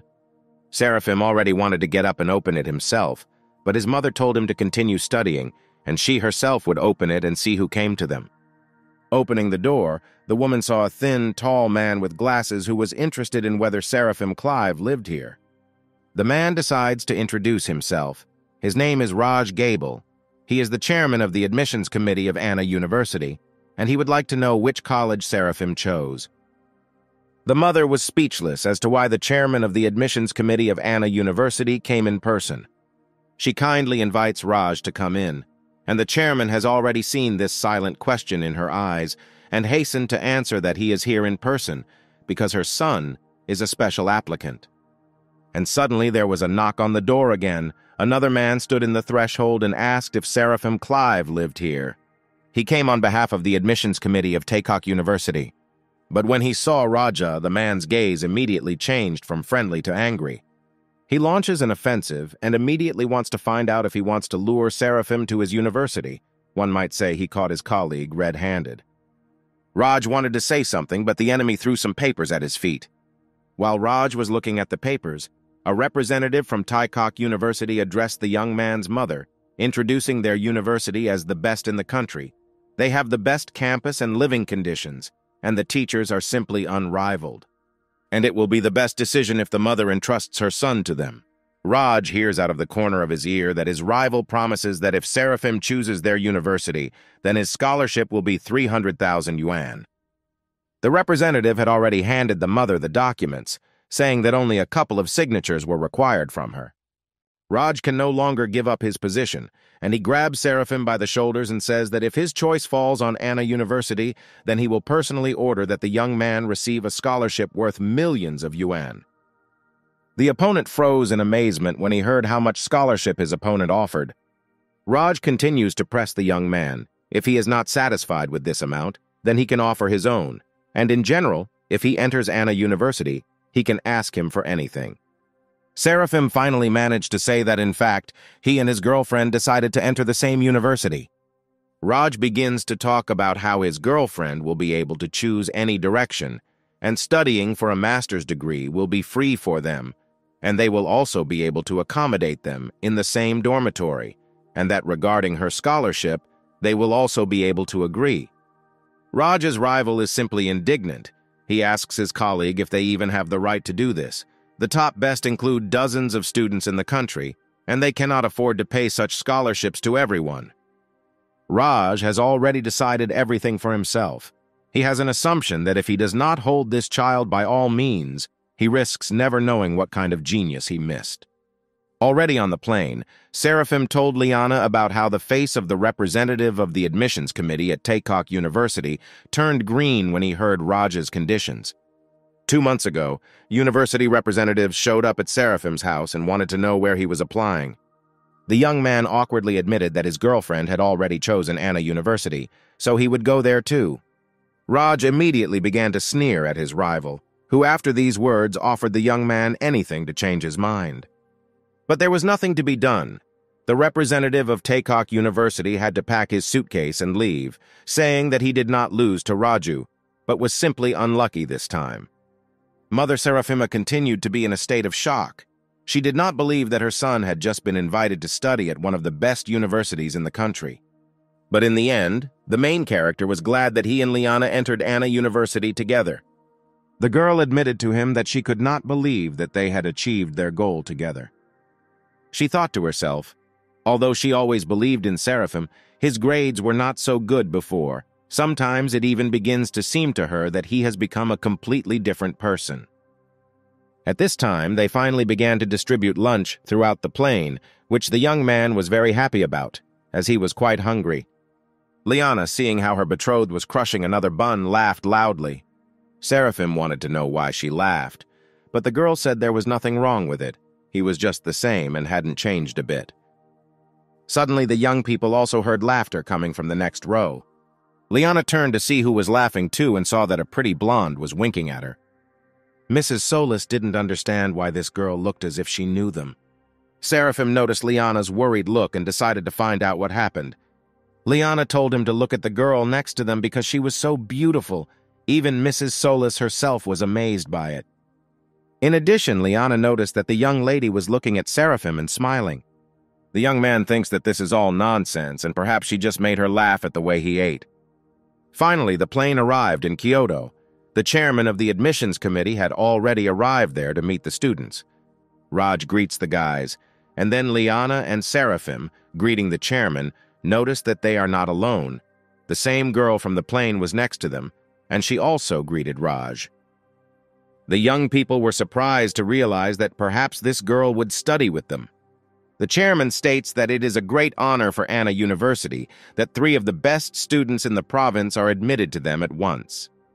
Seraphim analyzes the situation. If the three best students entered, the first is him, the third is Liana. This means that the stranger is the second student to score the highest score in the entrance exams. The girl happily reports that she is glad to finally meet him. She heard about the guys, and today she finally saw her for the first time. The stranger finally introduced herself. Her name is Taylor Locke. She and Seraphim shake hands and promise that they will learn from each other. The young man does not understand why he has the feeling inside that this girl is up to something bad. The chairman decides that since everyone has already met, they can go to the university and takes the guys to the car. Seeing this car, Seraphim was simply delighted. It seems to him that Anna University's approach to its students is even better than he expected. Suddenly he heard Taylor laugh behind him. She said that every year the best students enter Anna University. But for the first time in history, a high school student managed to get the highest score. The girl suggests that probably it was given to her from above to meet such a genius as Seraphim. The chairman urges them on, saying that he himself will help them with their luggage, and for now they can get settled in the car. He reminds them that they will have to fill out a lot of paperwork before registering. Raj, loading his suitcases into the car, thinks that they usually don't rush around like this with the best graduates. But Seraphim is a different matter. He is simply a mathematical genius, since he was able to solve the top five most difficult hypotheses only such a brilliant student is worthy of being welcomed by Anna University with all honors. The young man thinks that it's cool that they will be given a ride by car, and they don't have to get there themselves like the rest of the freshmen do. Liana decides to ask Taylor how many points she scored on the entrance exam. Hearing the answer, at 736, Liana was sincerely surprised and considers it an annoyance. Taylor chuckles and says that there is nothing wrong with that, if there is a 10-point difference between her and Seraphim, she is still no match for him. Seraphim chuckles because between her and Liana, the difference is generally four points. The chairman wants to know which profile the best graduate has decided to choose. Students usually make decisions before applying, but Anna University has made an exception for this. Seraphim replies that he thought about it and decided to go with Liana to the Faculty of Foreign Languages. Raj almost slammed on the brakes from shock did the young man really not want to enter the Faculty of Mathematics? But he calms down and says that if he doesn't have any special preferences, then of course any direction will do, but he still advises him to use his strengths. Seraphim doesn't care about anything. He can choose anything because he has a system. The young man notices that, most likely, the chairman saw his calculations, and that is why he so badly wants him to enter the Faculty of Mathematics. Seraphim doesn't want to seem impudent, but does Raj really think that the math teachers still have something to teach him? These words made the chairman think because the young man himself solved those most difficult problems. Even none of the current professors could do this. But he doesn't give up and tells the student that they can still provide him with a good base. Seraphim replies that even if he chooses the mathematics department, he thinks that the undergraduate course will be a waste of time for him, and the rest of the students may be unhappy with his presence. But still, the hero decided that he would study English, and if he suddenly had problems solving problems, he hoped that the mathematics teachers would be able to help him. Raj laughs and replies that let it be as Seraphim wants, because all roads will be open to him. Finally, they arrived at the right place. Getting out of the car, they saw a luxurious campus. The chairman announces to them that while the students are moving into the dormitory, he will register them. Liana and Taylor go to the women's dormitory. Mrs. Solis says goodbye to her boyfriend, offering to meet after that and have lunch together. The young man, of course, agrees. Seraphim cannot believe that the university life he has been waiting for so long has finally begun. Entering the dorm room number 400, the three heroes saw their new neighbors. He was noticed and greeted by a thin, friendly boy named Daniel Pham and a funny fat guy named Tyler Dench and the last one to greet him was a handsome young man, saying that he was just in time because there was only one free place left. Seraphim introduces himself to them and shakes everyone's hands as a greeting. The last neighbor introduces himself to him as Philip Prince and says that they were just deciding who would be in charge of the room. Daniel immediately decided to speak out that he believes that the one who is older should be in charge. Tyler thinks it's too easy and maybe they should do it differently. He wants to suggest choosing a boss based on the number of points scored in the exam. Daniel didn't particularly like his proposal, so there was a nervous tension in the room. Tyler is simply sure that his neighbors couldn't do better than him, and he is the first to decide to say that he scored 707 points. Daniel laughed in his neighbor's face as his result was 708 points. Philip decides to interrupt his neighbors and report that he scored 716 points. The guys had already thought that this was the winner in front of them. The neighbors finally decide to find out how many points their last moving tenant has. Seraphim turned and casually said that he received 750 points in the entrance exams. But he immediately warns that he doesn't care who will be in charge. Tyler doesn't believe the young man's words and asks him to tell the truth about the points. But Seraphim again replies that he is not lying. If they do not believe, they can check it on the internet. The results are in the public domain. Daniel whispers to the other neighbors that what their neighbor is saying is simply impossible. All three guys crowded around the phone to verify the veracity of Seraphim's words, and to their surprise, they were convinced that the young man had told them the truth. They can't believe that a genius has been assigned to them. Tyler immediately decided to return to the concept of choosing a leader based on age. Suddenly, Seraphim received a notification on his phone. It was Liana.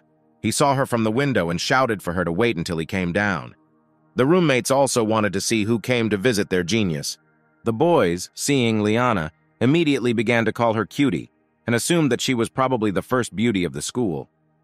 Tyler wanted to know what kind of relationship Seraphim and Liana were in. The main character proudly declares that this is his girlfriend, and he invites the guys if they want to go and have dinner with them. Philip also cannot believe that these young people are dating, so he decides to clarify this again. Hearing once again confirmation that Liana is his neighbor's girlfriend, Philip declares Seraphim to be in charge of their room. The rest of the guys also agree with this. They have already even announced that they are now a family and there should be no secrets between them. The main character experiences a feeling of awkwardness. He does not understand what secrets are being discussed. It turns out that his neighbors want to know his secret ways to pick up girls. Seraphim suggests that they first go down and have dinner together. Once outside, the guys see that Liana has brought with her several more attractive girls. Daniel immediately wants to apply all his vibes to attract the lady. But his attention is drawn to Tyler, who introduces himself with excitement. He blushes very much. Taylor didn't even really pay attention to them, and immediately turned to Seraphim with the question of when they would go eat. The young people were very upset that their efforts went unnoticed, Philip's heart did not care about Taylor at all. The object that interested him was a little behind, and he immediately decided to act. He greets the girl, introduces himself, and says that he came here from the capital. Liana, looking at this picture, decided to tell Seraphim that he seemed to have interesting neighbors. This makes the young man feel awkward, and he offers to quickly find them a place where they can have a bite to eat. As a result, they came to a cafe that served fairly hot snacks and soups. Seraphim immediately considered them perverts because of this, because they chose a place that served hot food. They probably wanted to look at the girls whose cheeks were flushed with heat and their breathing quickened. But Seraphim is distracted from these thoughts by Liana, who hands her beloved a piece of meat. At the table, Philip decides to tell them that their school year will begin with military training. He even heard that the instructors will be especially strict this year, so they need to be careful. The girls were immediately frightened by such news because they are afraid of military training. Their delicate skin will definitely tan in the sun. Philip explains that this is the reason they need to prepare for this. He and the boys have just saved a set of special training sessions that they will happily share with them. The girls are happy and decide to ask Liana whether to add them to the general chat.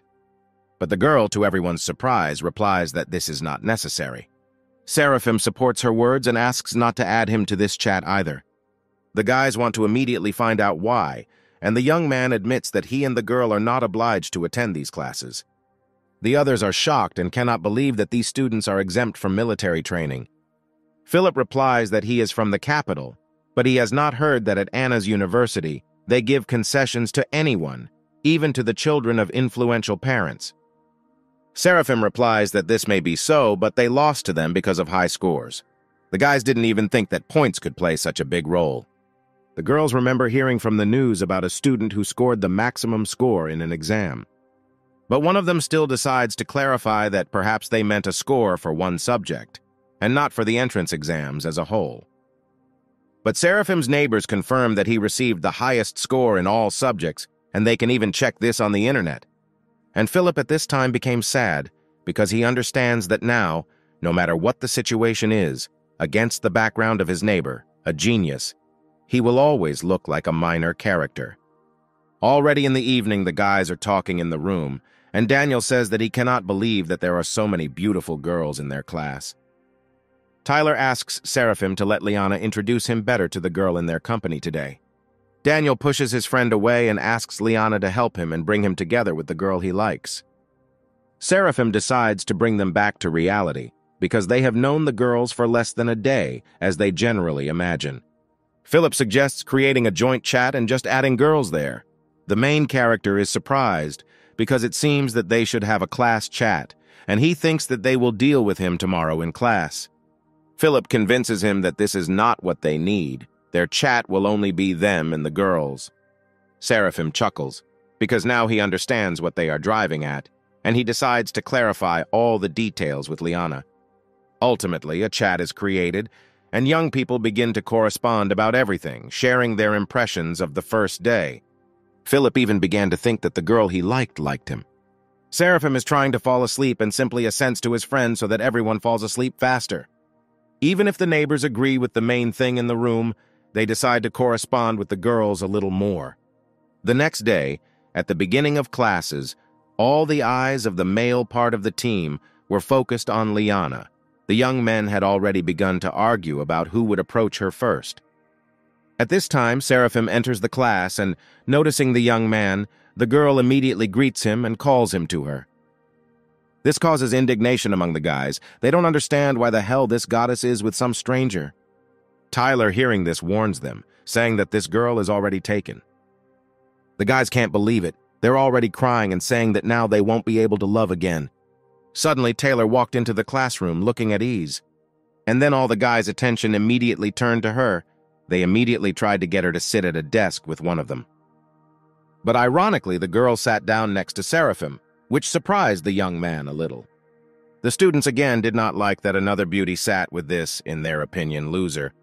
Seraphim wants to know why the girl sat with him because the class is full of empty seats. Taylor wonders why she can't sit here. Mr. Clive wonders if she feels these murderous glances directed at him. The girl admits that seriously she just wanted to ask him for one favor. Taylor admits that she does not want to undergo military training and wants Seraphim to ask the chairman to exempt her from this training. She asks the young man to promise her that he can get her out of military training, and in that case she will change seats. But Seraphim wants to know why she doesn't ask Chairman Raj about it herself. But the girl doesn't seem to hear him and simply joyfully says that she is counting on Mr. Clive. Liana did not like these speeches and the structure of her eyes. She simply looked at the girl with a murderous gaze. But she didn't have time to say anything to her opponent, since Taylor had already gotten up and gone to another desk. The guys in the class couldn't be happier, because they understand that they again have the opportunity to meet a beauty and even sit at the same desk with her.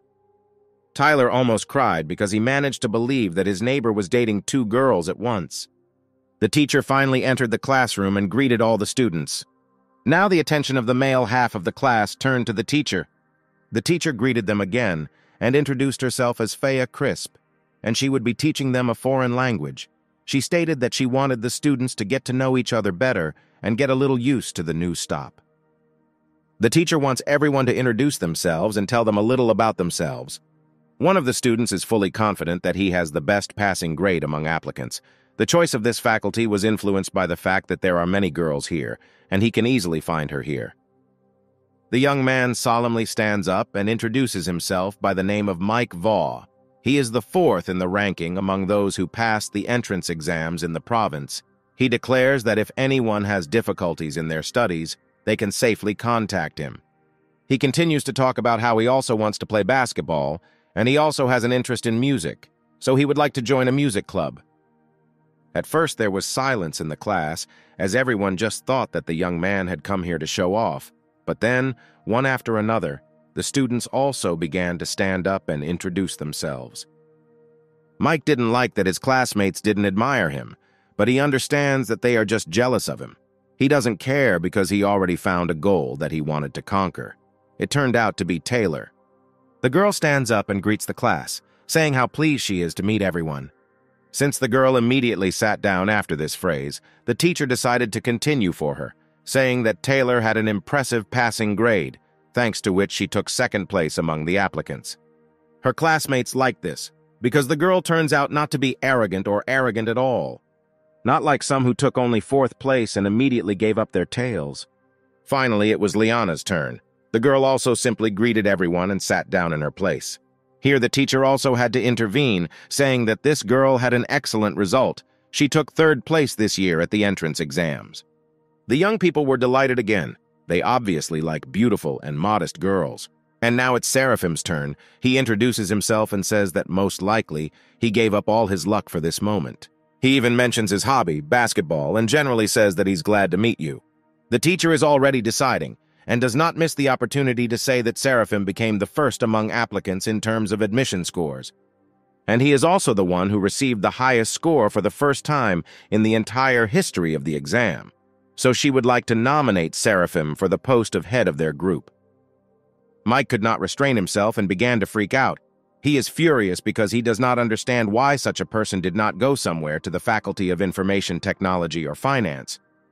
At the same time Chairman Raj was talking with his colleagues, they were just discussing a student who easily solved complex mathematical problems and at the same time chose the Department of Foreign Languages.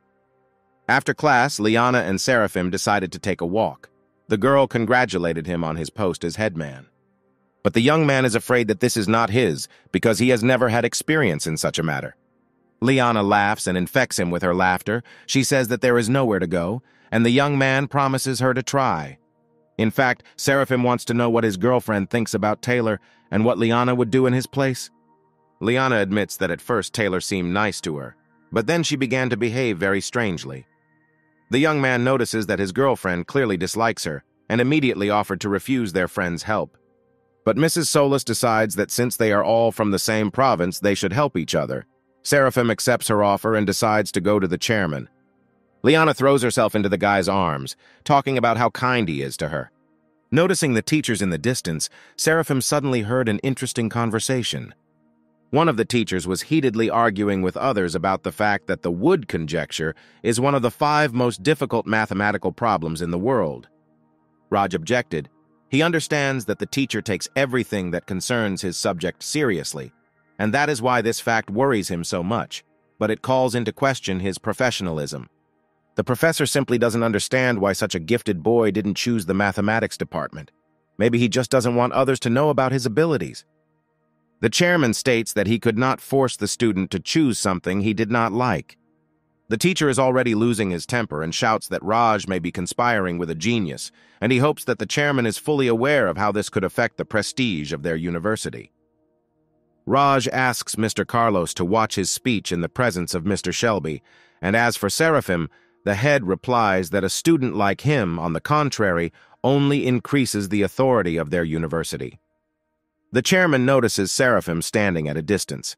The young man awkwardly greets them and says that he was looking for Raj to talk about combat training and asks for a moment of his attention. But the angry teacher asks not to distract them and immediately tell them why he came here. Seraphim admits that he wants one more person to be freed from these activities.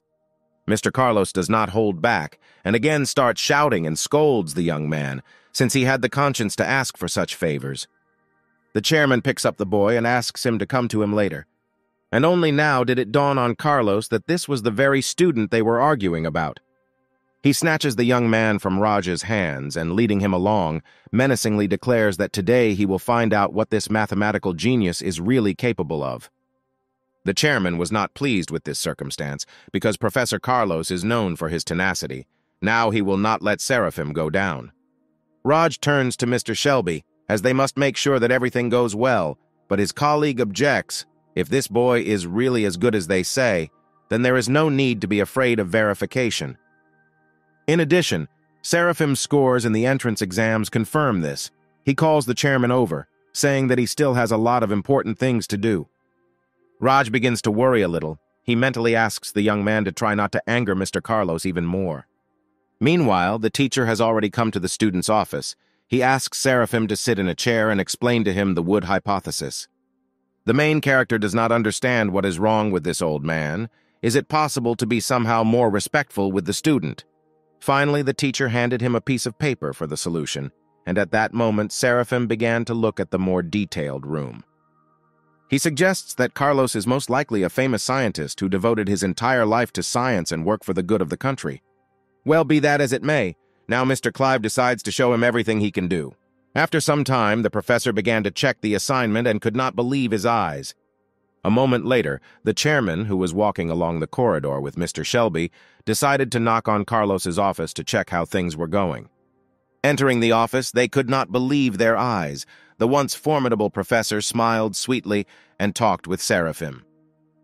They heard him offer the young man to become his student. It turns out that Carlos may not only be a cold iceberg. The professor decided to share the news with Jack Stills that he had a student with great promise. At such a young age, he was already able to solve five of the world's toughest problems, and Carlos considers himself very lucky to have agreed to learn from him. He even believes that such a wonderful student needs a careful approach. Jack didn't particularly like hearing from this old man only about Seraphim for half an hour. The young man is also a student of Carlos, and right now his nerves were giving way. He could no longer complete his work calmly in such an environment. But he still decides to ask the professor whether it is possible to solve five complex problems so easily and quickly. The young man believes that it is worth making sure that their solution is correct, just in case. Carlos notes that Jack even made him doubt. Some of the evidence he gave actually showed him to be a little inaccurate. And perhaps he'd go down to the lab and use the main computer to check some data. Jack asks to volunteer to try it himself. Carlos, of course, agrees, because Miss Hazel works in the laboratory with whom his student is in love. He allows Jack to carry out calculations on his behalf.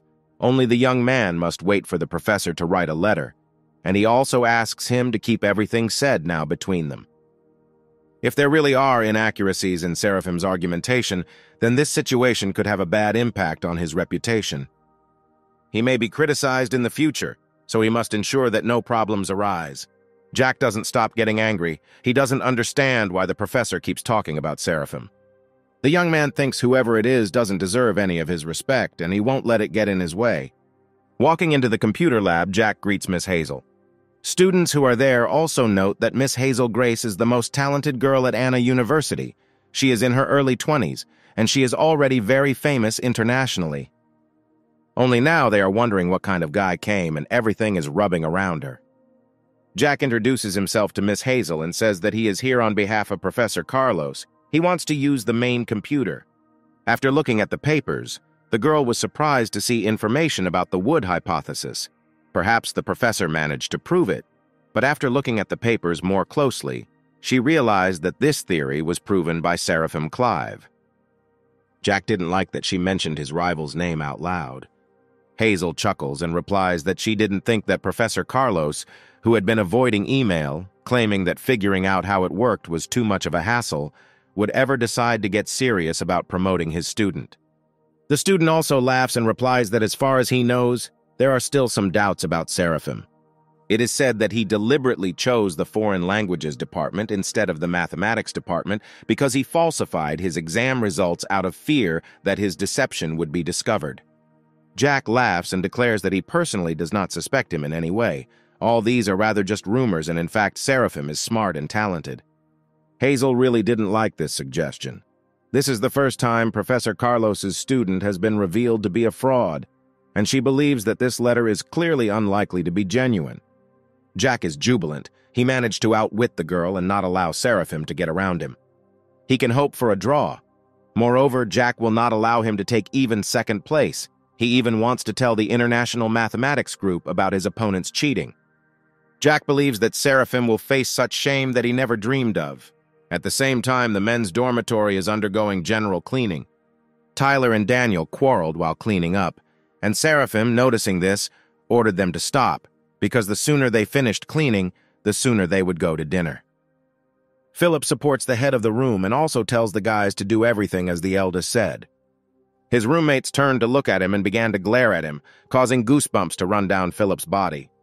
Daniel and Tyler abruptly began pointing their fingers at him and shouting to Seraphim that Philip had just laughed at him.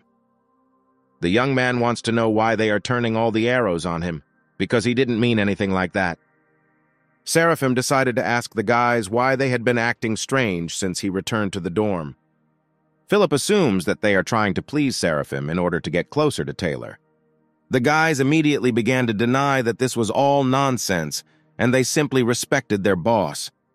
Philip notes that one way or another, there are those who are not happy that it was Mr. Clive who took the post of head of the group, and now they must be throwing mud at Seraphim behind his back. Mr. Prince is even interested in hearing what his neighbor thinks about this. But the main character doesn't care. He believes that let them think what they want.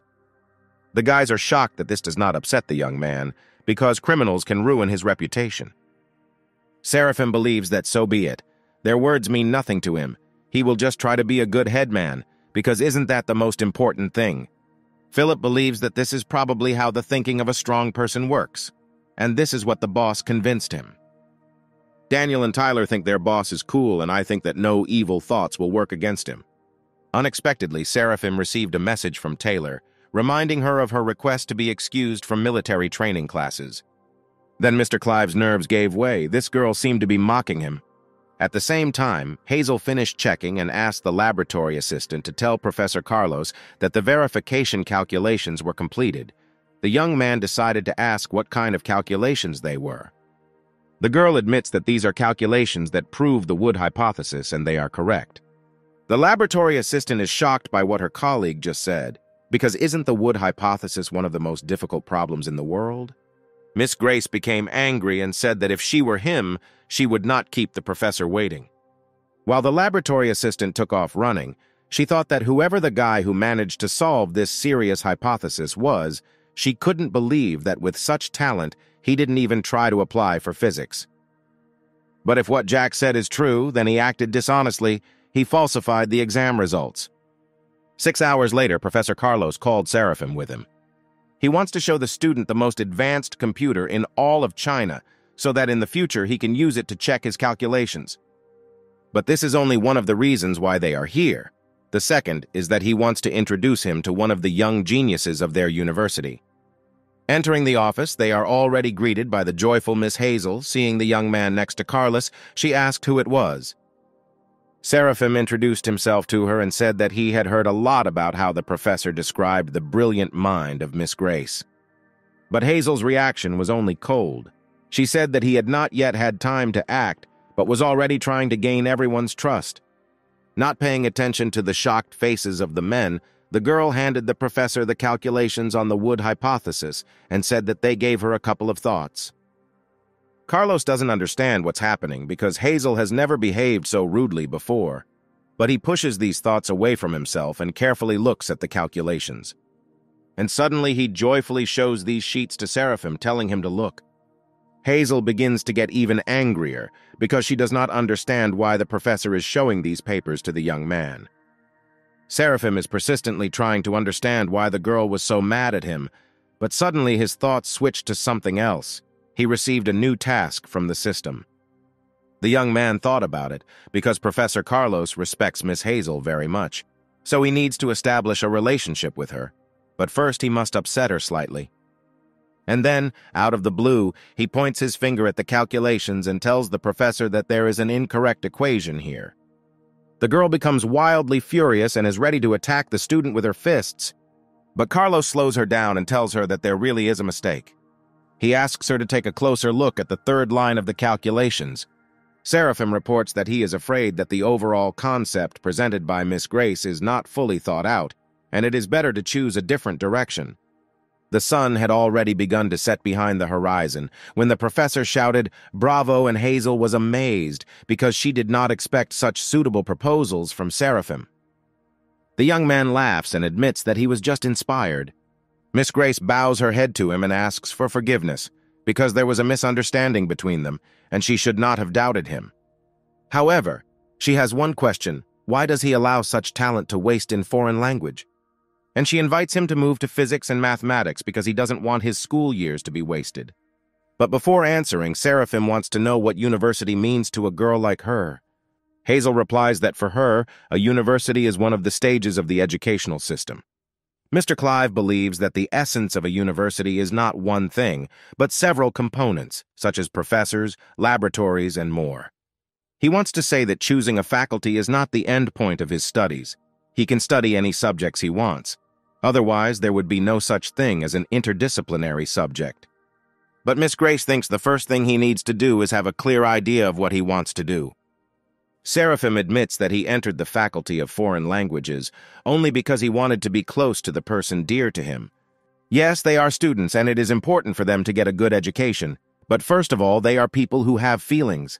After all, if it were not for his family and friends, he would not have been able to advance so far. It was thanks to Liana that he began to work hard and achieved what he has in terms of education. Carlos also decided to reassure Hazel, saying that of course he could not say that he agreed with all of Seraphim's words, but he reminded him of what he himself had long wanted to tell her. After all, for the last six months she has almost been living in the laboratory, and she has not been home or called her parents for a long time. Sometimes too much mental stress can be detrimental to your thought flow, Taking breaks will help your mind become more flexible. The girl noticeably cheered up and stated that she never thought that Seraphim could teach her anything. Sitting in his dorm room, the young man receives a notification from the system stating that he has completed his mission, and now he is wondering what reward awaits him this time. His reward was called Fiery Eyes. Seraphim became very curious about what this skill meant.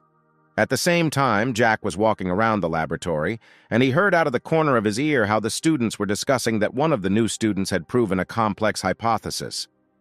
He was tense at this news, but all his thoughts disappeared when he saw Miss Grace on his way. He immediately noted that he did not often see her outside the laboratory. The girl admits that she decided to follow the advice of Professor Carlos and Seraphim to see how rest would affect the flexibility of the mind. The young man does not understand what happened and why Miss Grace is behaving so strangely. He decides to find out if she has already met Seraphim Clive because he warned her that he cannot be trusted. Jack is afraid that he cheated into entering the university, and who knows what else he might do. Hazel's face changed sharply and asked Jack not to talk about Seraphim like that, because he turned out to be a great boy. She apologizes and says that she wants to continue the walk. Seeing how the object of his desires leaves, Jack begins to get angry. He wanted to be gentle with Seraphim, after all. They study at the same university, but now he left him no choice. At the same time, Mr. Clive decided to try out his new ability and placed two cards face down on the table in front of him. To his surprise looking at them, he was able to see what kind of card it was, its value and suit. It turns out fiery eyes, this is X-ray vision. He asks his roommate to help him and tells him to sit next to him. Seraphim wants Tyler to turn his back on him and shuffle the cards. Tyler doesn't understand what they want from him and wonders if his neighbor is perfecting some kind of magic trick. But he still does everything as he was told and shows Seraphim the cards. Having looked closely, the young man gives the answer that the two of diamonds is on the left and the three of crosses is on the right. Tyler thinks it's incredible and wants to know how his neighbor did it. The young man is trying to understand whether Seraphim simply made notes on the maps. The main character already realizes that this ability can be a good help to him. In the midst of learning about his new ability, he receives a call from Professor Carlos. Having picked up the phone, a cry came from there, which said that Seraphim should come to the professor as soon as possible, because he had urgent business with him. Some anonymous person accused him of academic fraud, and now an international delegation is coming to them to clarify the circumstances. Carlos warns that the members of this delegation are very serious. They do not care whether he was able to prove the Wood hypothesis or not. For some reason, they are sure that Seraphim passed off other people's notes as his own. Jack started all this, as it is not difficult to understand. He wants the young man to disgrace himself tomorrow in front of all members of the Mathematical Society of China. Scientists around the world can be divided into four classes. First-class scientists are those whose achievements are limited to mastering a certain set of knowledge. The most they can achieve is to obtain a few patents for inventions, but there are those who believe that such people do not deserve an academic degree. Second-class scientists make revolutionary discoveries and try to find explanations for ambiguous phenomena. Their scientific articles are published in prestigious journals. Third-class scientists are one step away from reaching the frontier of human knowledge. Their skills are enough to organize a whole set of theories and ideas, which can then be passed on to the younger generation. Fourth-class scientists are able to introduce to humanity a new field that goes far beyond the limits of knowledge, which is necessarily recognized by all other scientists on Earth. Today, there are no more than 100 fourth-class scientists in total, Finally, the international delegation arrived in the main conference room. Mr. Shelby whispers to Miss Hazel that someone reported that China proved the Wood hypothesis. The girl is indignant because they did it on purpose. And besides, the person who sent the anonymous statement is one of the few trusted persons with whom they shared the secret. She realizes that not many people knew about the proof of the hypothesis, and she seems to have an idea who it could be. The delegation is talking to each other, one of the members is called Tom. He is a second-class scientist from the Kingdom of Starbast. A third-grade scholar named Mott from the Sakura Kingdom talks to him. Mott begins to say that he himself recently completed his latest developments regarding one hypothesis.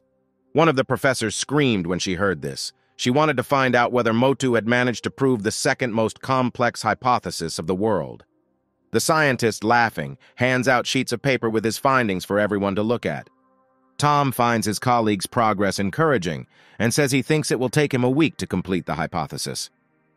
Mott claps his hands to get everyone's attention and declares that he has a great idea on how to make their meeting even more effective. As everyone present looks at that boy named Seraphim Clive, look at his notes and try to carry them to their logical conclusion within two hours. Hazel enters into a debate. She does not understand what this madman is talking about because this is a completely different hypothesis that requires a different solution. But Mott calmly declares that if the young man fails, he will call into question the reputation of the entire university. Suddenly, Seraphim enthusiastically declares that he is ready to try. Hazel was surprised that after all this, he was still ready to try, because the complexity of the XE hypothesis is world-class. It is impossible to solve it in an hour. Seraphim understands that the old man from Sakura wants to destroy the image of the Chinese academic community, and he simply must stop him. Mott greets the young man and asks if he is ready to speak on behalf of the entire academic community of China. Professor Carlos is a fourth-class scientist, and he shouts to his ward to do everything for the honor of their country.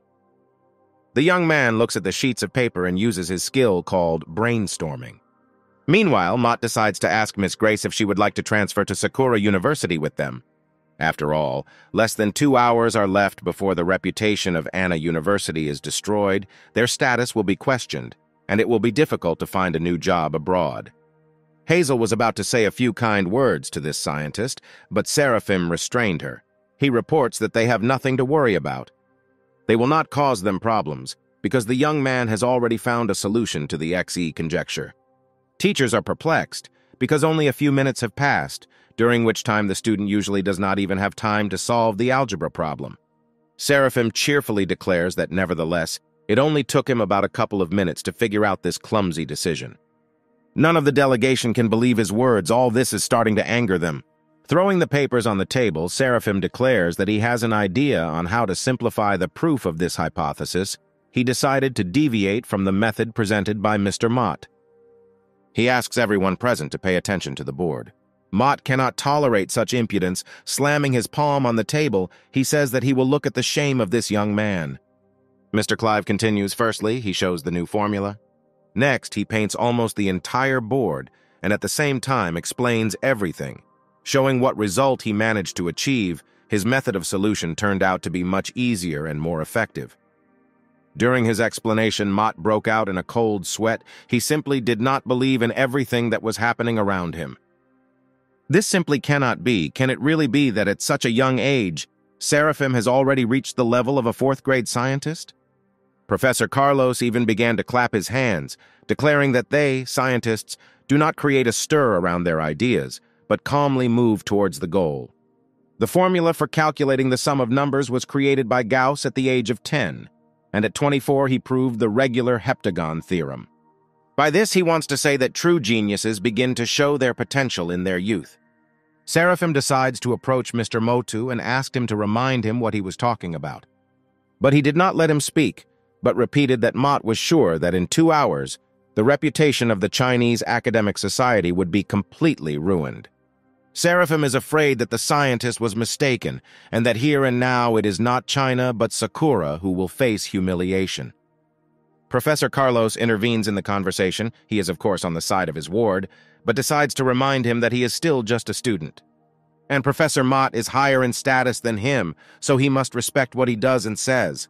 The scientist understands that he was humiliated in front of the members of the international delegation. He thinks that everyone will now laugh at him. They had already started talking behind his back, discussing that they didn't think anyone could prove the XE hypothesis in such a short time. Tom believes that this is a turning point for the entire world of mathematics. His colleague supports him and believes that he needs to quickly tell others about it. Mott stands on the sidelines and thinks that he is a loser, and now he will never regain his former respect because a new star has appeared that has eclipsed him with its radiance. The next day, Jack, walking around campus, again heard about a certain gifted genius at their university. He could not believe that Seraphim turned out to be so smart, and the young man did not know what to do now, so he went to the laboratory to Miss Grace, who called him to her. But when he opened the door, he discovered that the girl was not alone, but in the company of Seraphim. When Jack timidly asked what they were doing here, Hazel became angry and stated that she asked Professor Carlos to give them time to talk in private, the girl suspects that it was Jack who sent the anonymous statement. The young man pretended that he did not understand what she was talking about, but Miss Grace continued. She said that the members of the commission confirmed that the calculations of the Wood hypothesis were correct, but someone convinced them that Seraphim passed off someone else's work as his own. And they came to them at the university and demanded evidence, and besides her, Seraphim and Professor Carlos, only Jack knew about it and had to keep everything secret. The girl threw a stack of papers at the traitor, shouting that his stupid behavior was not worthy of a graduate of one of the most prestigious universities in China. Hazel asks him how he could succumb to envy so easily. Jack begins to shake with fear and stutters and tries to apologize, saying that his mind was clouded. Miss Grace screams at him to apologize not to her, but to Seraphim. Jack gets to his feet and awkwardly tries to force out an apology. Seraphim laughs because he thought that Hazel called him here on some important issue, but this turned out to be such a trifle. This seriously angered Jack. He asked the young man whether he cared that his life could go downhill. Seraphim leans towards him and says that they have been working all their lives for a bright future, and this incident became for him an unusual obstacle on the way to it, which he overcame and is ready to move on. Already in the dormitory room, Tyler, having heard this story, was surprised. Who would have thought that Mr. Clive would be set up by a senior student if he were in his place?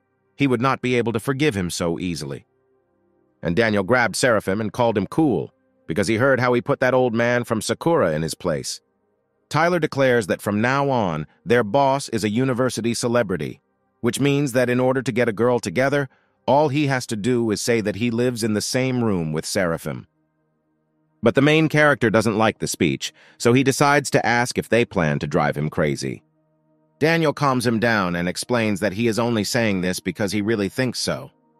Seraphim offers to forget all this, and he will treat them to dinner if only they all leave him behind because he just received the prize money. Seeing a silent question in the eyes of his neighbors, he explains that this money came to him for proving the Wood hypothesis, and this is an amount in the form of a family or eight noble sum. His neighbors, having heard about this, could not get enough of how lucky they were with their roommate. Seraphim decided to find out where another of their comrades, Philip, had gone. Daniel heard that he went to play basketball because today is a tryout game with the team from Taycock University. Seraphim admits that he didn't even know that Philip had already been accepted into the team. Tyler reports that this also came as a surprise to them. It turns out that he is not only smart, but also good at sports. Besides, he's also a great guy from a rich family, but Tyler still thinks that their boss is still a hundred times cooler. Seraphim decides that it's better for them to go and watch the game, because whether it's a trial or not, the competitive spirit has not been canceled. A fight had already broken out on the basketball court. Philip blocked the opponent's ball and, having taken it away, moved towards the opponent's hoop. His efforts were not in vain. On the first try, he scores into the hoop. Seeing how their comrade carried out the attack brilliantly, Tyler decided to shout out words of encouragement to him. One of the cheerleaders heard this and turned around angrily and asked the guys what they forgot here, because Anna University students were sitting on the other side. The young people smile awkwardly and ask her for forgiveness for their mistake. Suddenly, the fans, taking a closer look at the young man's face, recognized him as Seraphim, the genius about whom everyone was talking, and this melted their hearts. They admit to the main character that they are his big fans. This delight was noticed not only by Seraphim, but also by the Anna University basketball team. The guys reacted sharply negatively to the fact that they weren't getting all the attention, but the game continues. The enemy tries to get around Philip, who blocks him. Suddenly, he hits the young man right in the solar plexus. Seraphim noticed this and began shouting that the enemy did this on purpose. A student from Taycock University states that without physical confrontation, there is nothing to do in basketball, or he can go on the court himself and show how it should be done.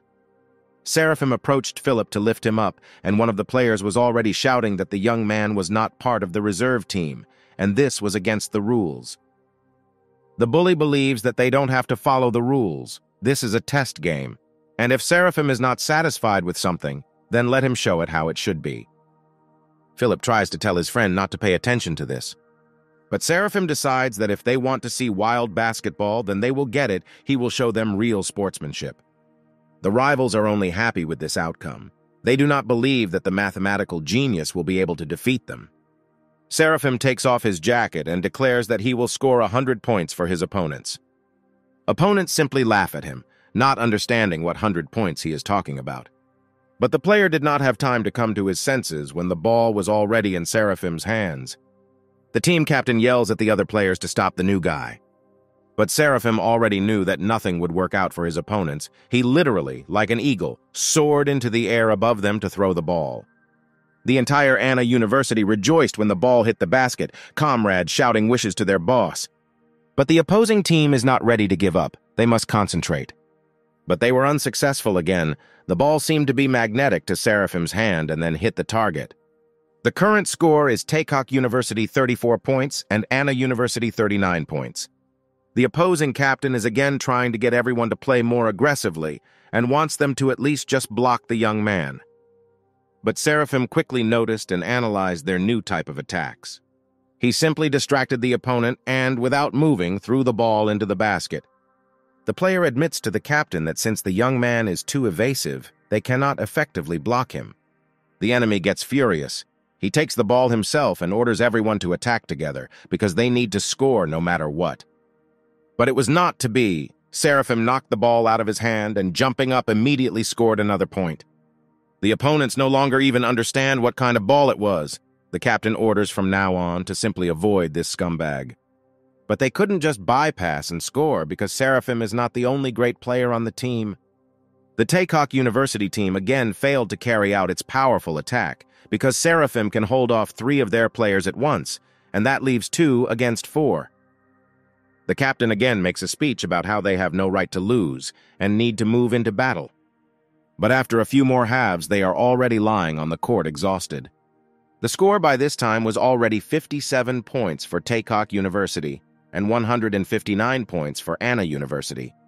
Finally, the referee announces the score and says that the match is over. Seraphim's comrades rejoice. Mr. Clive, despite all the honors, decided to approach the opposing captain and say again that he knows that he deliberately pushed Philip. Now he will have to remember that karma works seven days a week. After the game, one of the Taycock University fans gently pulled Seraphim back. The young man thought that she wanted to stand up for her captain, but in fact she wanted to ask the young man for an autograph. Other fans hurried after her with open notebooks at the ready. They even managed to quarrel over who should get an autograph first. Then another fan materialized behind him, which made him feel even creepy. Having noticed the girl out of turn, a fight immediately broke out between the fans. Seeing the turn the matter is taking, Seraphim decides to get out of there as quickly as possible. Gradually, the fame of the young genius spread faster and faster throughout Anna University, and all the locals were already trying to find his accounts on social networks. Seraphim woke up in the dormitory in the morning, woken up on his phone and discovered that there was an unimaginable number of subscribers on his page. Suddenly, a fairy appeared in the room and congratulated him on what he had achieved, noting his 20 million fans, and that the hidden task called the famous person had been completed. The creature noted that they had not seen each other for a long time, and she was glad to see the owner. The fairy did not expect that Seraphim would be able to complete the next task so easily. It seems she underestimated him. Thanks to this task, the young man comes to the conclusion that his fans can also carry out the tasks. From this, it turns out that there are missions, the success of which depends on the level of popularity. The system never ceases to amaze him.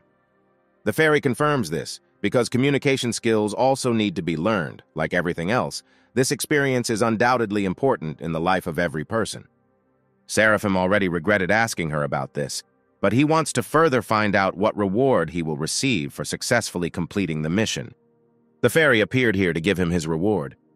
The creature was angry that Seraphim did not consider that this task had a teaching function.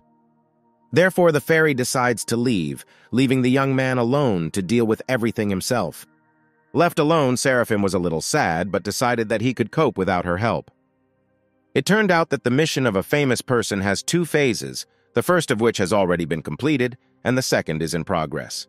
Seraphim has already realized that the number of fans plays an important role. He still cannot believe that they can really complete tasks. Flipping through the feed, the young man also comes across mentions of his name in connection with something called a Battle of Intellects. The Battle of Intellects is an international competition in which the best minds from more than 10 countries take part. China, the country of lighthouses, the country of cherry blossoms, the country of eagles, and the country of witches are fighting for first place in different fields of knowledge. In the last game, the winner was a contestant from the country of Mayakov, several steps ahead of his rivals. This time, China approached the selection of candidates less responsibly, but was only a few points behind. Such competitions do not show the true potential of an entire country, but the public does not think so. The country of lighthouses, which took first place, ridiculed China, thereby angering its people, and this time China demands revenge. At this point, Taylor finished her explanation about this show. She explains to Seraphim that the country has high hopes for him. Everyone thinks that he will be the one who can put the country of lighthouses in its place. The young man considers this another stupid show. He is already thinking that if he had known in advance that Liana had morning classes, he would not have come here. He tells Taylor that it's not worth worrying about and should just forget about it because he won't be participating. But first, the girl offers him something to watch. Seraphim picks up a tablet to watch the winner's interview, being completely confident that this will not convince him. The winner says that this time they will have only one goal, to retain the title of winner. The interviewer chuckles, and says that there is talk that in China there is one brilliant boy who can compete with the country of lighthouses. The winner laughs and notes that she most likely means a student who received invitations from different universities at the same time. The participant shrugs and replies that he very much doubts that an 18-year-old boy will be a strong competitor to him. The interviewer replies that it is difficult to believe, but there is information that he disgraced the mathematician of the Sakura state. The man believes that these are all tricks of Asians, which are not worth falling for because they are mired in vanity. From the side of the country of lighthouses, real students will participate in the battle of intellects. China, in his opinion, expels those who have already graduated from the university. He even wants to bet that their vaunted genius won't even appear on the show, thereby showing his worthlessness. As soon as Seraphim finished watching, Taylor suggested that he stop commenting. Under the video, there were a lot of words about how China will not give up and they must definitely win. Seraphim at the same moment learned that he was able to complete the second phase. This time, the young man will not remain on the sidelines. He declares that he will take part in the battle of intellects. Very little time has passed, and the news is that Seraphim will take part and fight for the title of king in the battle of intellects. While Liana and Seraphim were walking through the park, they had already heard strangers talking on this topic several times. Miss Solis noticed that her betrothed is quite popular. Suddenly, her smile disappears from her face, and she admits that she is angry that he did not tell her that he would be taking part in international competitions. The young man was already seriously scared when Liana burst into laughter again and said that she was actually joking. However, she noticed that he had not only fans but also haters. Liana tells the guy to try hard, and he declares that they will definitely receive the cup of the king of the Battle of Intellects. The girl laughs again and they decide to continue their walk. It was a busy evening in the office of the team developing the Battle of Intellects show. One of the employees burst into the boss's office and said that they had lost their last sponsor. The boss thinks that this is outrageous, because what kind of trust can we talk about when they do this to them? The assistant wants to know what they should do now, since they have already spent too much money from the company's budget on television and radio broadcasting. The boss remembers a meeting a couple of weeks ago about investing funds and discussing where they would be spent. This becomes another headache for the boss. They have little time. He is not sure that they will be able to find a new sponsor. In addition, the loss in the Battle of Intellects led to attacks from haters from other countries. He is afraid that few will want to join the team this time. The assistant wants to tell the boss one more piece of news, and the boss asks him not to mumble. He reveals that Seraphim Clive has decided to join them in the upcoming competition. The boss doesn't quite share this joy, because he doesn't understand what use this boy is in their situation. Let's say he became one of the participants and can even make it to the international stage, but will he be able to beat all the participants from other countries and become the champion of the Battle of Intellects? Of course, he gained quite a lot of fame, but what does this give them? Their goal now is to increase ratings. The boss notes that this Seraphim is very famous, but what if he fails at the national stage? The head believes that now they need to worry more about how to move into the top programs and find sponsors, and it seems that they should reconsider the questions for casting. At the dorm, the roommates were already lined up to see Seraphim so that he could tell him how some example was solved. Tyler noticed that Daniel, as usual, distracts their boss from reading, but the young man explains this by saying that he just wants their friend to practice explaining tasks and feel confident on the show. Seraphim interrupts them he told them that those responsible for developing the program called him and told him that he did not need to go through the casting and that he would automatically get into the first round. The guys are happy for him and believe that it was the director who appreciated his ability so highly.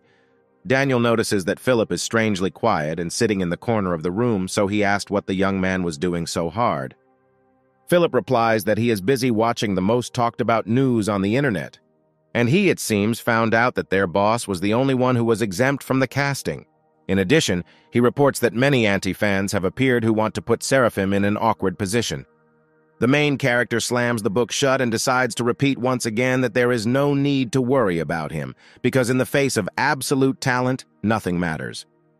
Three days later, the debate of the king of the Battle of Intellects, the qualifying round, takes place. The charming presenter greets everyone, introduces herself as China, and announces the qualifying round is open. After passing the first audition, only 100 applicants among tens of thousands of applications were able to advance to this round.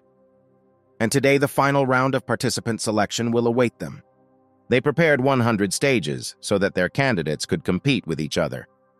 Contestants will answer questions simultaneously, but only the first 10 people who give the correct answer will receive points. Then the 10 participants with the best results will become real competitors. Later, they will represent their countries at an international tournament. China once again asks to welcome today's candidates, and everyone begins to applaud until the confetti stops flying from above. The tournament began, and the first question appears on the scoreboard. Tyler and Philip no longer understood anything. The picture was more like some kind of mosaic. Suddenly, Tyler noticed that many players were looking at the screen with their heads tilted strangely. Philip recalls hearing about a similar technique called 3i. With its help, you can superimpose several pictures on top of each other, and the different elements will immediately be highlighted. He realized that they were studying the screen from top to bottom vertically and left to right horizontally, most likely combining several photographs into one large one, and then comparing them to quickly find differences. Tyler chuckles. Now it's clear, after all, only the first 10 people will be able to get points. And at that second, the comrade was seized with panic. What if Seraphim did not know how to use the three-eye technique? An assistant ran into the technical room with the news.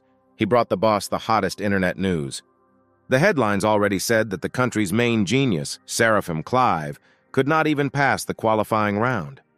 The boss is pleased because he sees that many people are interested in this. And this means only one thing. They must take advantage of this farce to attract sponsors. The head carefully selected the questions for this round, and none of them are related to mathematics, because no matter how genius this Seraphim is, he cannot be so wasteful. China was surprised when only 10 seconds had passed, and the contestant named Seraphim was already ready to give his answer. But to everyone's surprise, the answer turns out to be correct, and the young man receives the first 10 points. The main character had no doubt about his victory in this task, since the reward for the last draw was the power of inspection, and its effects are simply amazing. Then the young man gave one correct answer after another, increasingly shocking the audience. The boss watched the game, and Seraphim, he didn't understand how this was possible. This guy is a mathematical genius, isn't he the one who solves universally complex problems? If the young man wants to glorify his city, then he needs to concentrate, the man could not even believe that there were such comprehensive geniuses in the world. The assistant tries to tell the boss that things seem to be getting out of control, but the boss just yells at him to stop talking nonsense. The henchman hands the head the phone and asks him to look at the comments. On the internet, people mocked Seraphim and believed that the show had specially altered the questions for him. The boss loses his temper because he asked his assistant to hire professionals to stir up interest in the show and thereby attack Seraphim.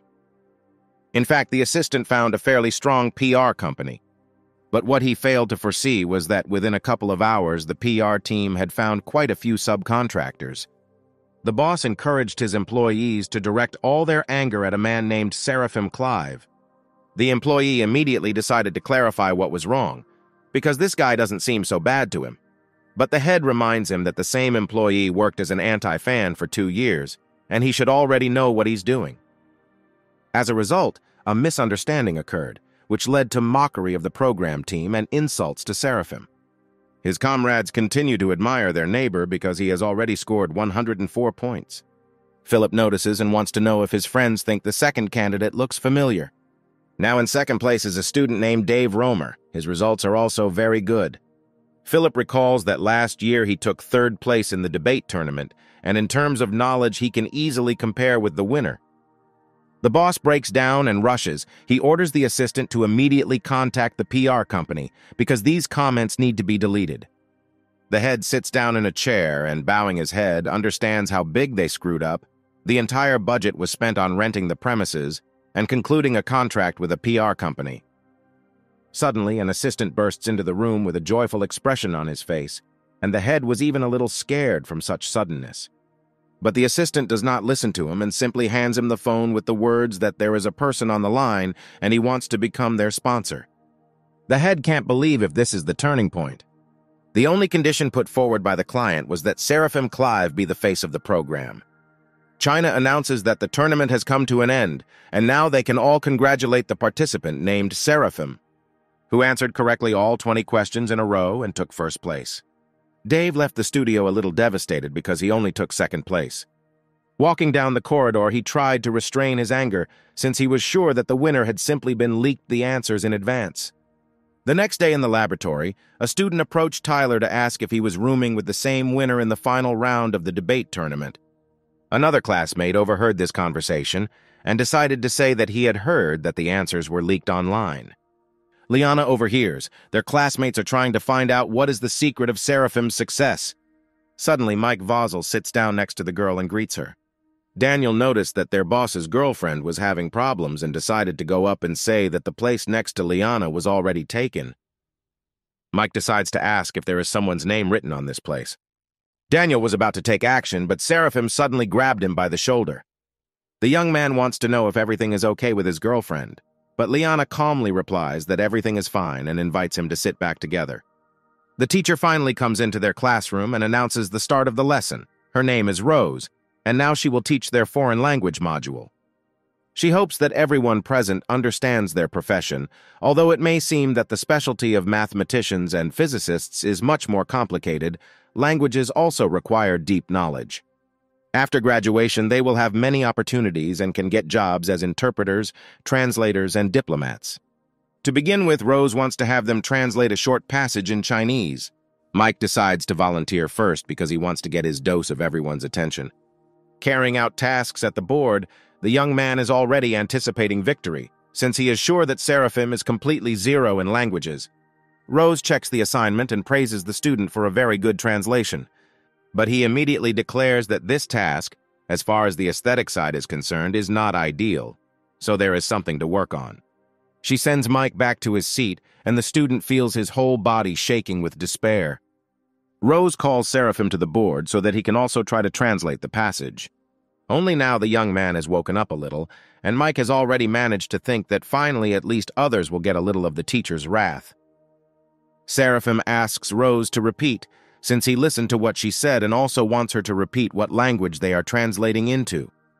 The teacher hands him a chalk and in a stern voice orders him to go to the blackboard first. Mike sits on pins and needles, eagerly waiting for Seraphim's pretense to be exposed. But then suddenly the student tells Rose that he doesn't have enough space on the board to write everything down. The teacher orders him to write until he runs out of space. Mike rubs his hands, realizing that Seraphim will face the public shame he deserves. But everyone was only surprised to see how the young man translated the phrase into different languages, and the space on the board actually ran out. Rose stood in silent shock. She wrote this passage herself. The student not only has a complex logical structure, but also unusual content. She can't even believe that he is really capable of translating the text into 20 languages so easily.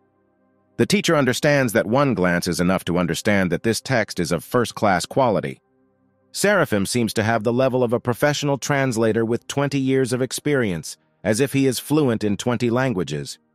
The young man turns to Rose and says with a smile that the place on the board is over, but the teacher doesn't care anymore and she tells him to finish there.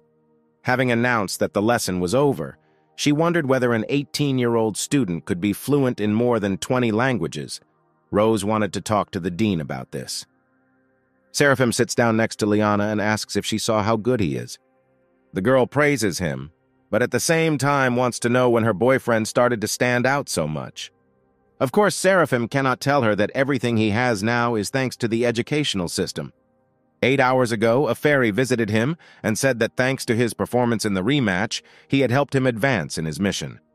He asks the creature to show him the panel and the fairy does it. A screen appears in front of him. The young man sees that nothing has changed in the table except Fauna's points. He became curious why this indicator was always at zero. The fairy explains that Fauna's points are equal to achievement points.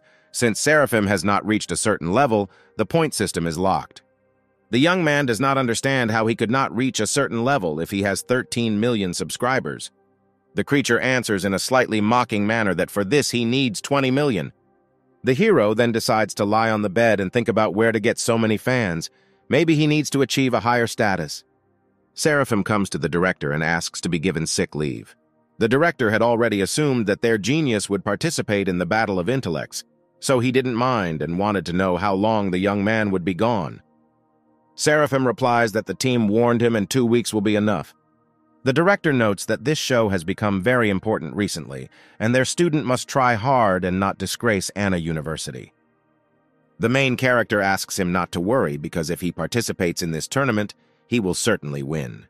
Meanwhile, in the office of the director of the television station, the head is considering the applicants, Seraphim and Dave. He knows that they are both first-class mathematicians and talented young people. The director of the TV show confirms this information, but Dave is known to be more interested in promoting himself on social networks. In the last tournament, he took third place, but many believe he was simply unlucky. The head admits that initially he wanted Dave to lead the team in the international tournament. But in the end, they chose Seraphim. The director subordinately praises him for his good work. But the director, sitting down in a chair, notes that he noticed that the internet is not calm now. The head supports his leader and replies that people nowadays send spam to everyone. People will always find something to argue about, especially with regard to fans of various television projects. Don't feed them bread, let them insult someone. The director tells the head of the program to keep a close eye on this and always be aware. And the most important thing to remember is that they have an entertaining program. You need to make sure that the opinion of the audience will be in their favor. The director also promised the employee that if he tries hard, a great future will await him. And finally, all the participants and the head of the TV channel gathered at a general meeting. The director announces that for the sake of the popularity of their show, they have decided that each participant will choose an individual challenge and immediately warns that repetitions are prohibited. One of the participants was dissatisfied with this task and believes that it is dishonest. The head also stated that they invited Professor Carlos from the University of Science and Technology. He would judge them and give a fair assessment. While everyone began to whisper about the professor, the director immediately decided to confirm that this is exactly who they were thinking about, and reminds them about the tasks that they can choose a difficulty from 1 to 10. As a result, the participants must receive the most objective assessment possible, of course. The head hopes that the guys will do everything possible after all. Even the average genius cannot perform the task at the seventh level of difficulty perfectly. The grumbling young man even seemed to calm down when he heard that Professor Carlos would be there. But suddenly he was pulled back. It turns out that the last person may be at a disadvantage. The director states that he gathered them all so that in the end they would choose the best project. Seraphim raises his hands and says that since he came last, he will choose from the remaining options. Hearing this, Dave decides to go first and draw a card. But the head is not very happy about this because Seraphim is the face of their program. Dave asks everyone present if they are okay with him taking this card.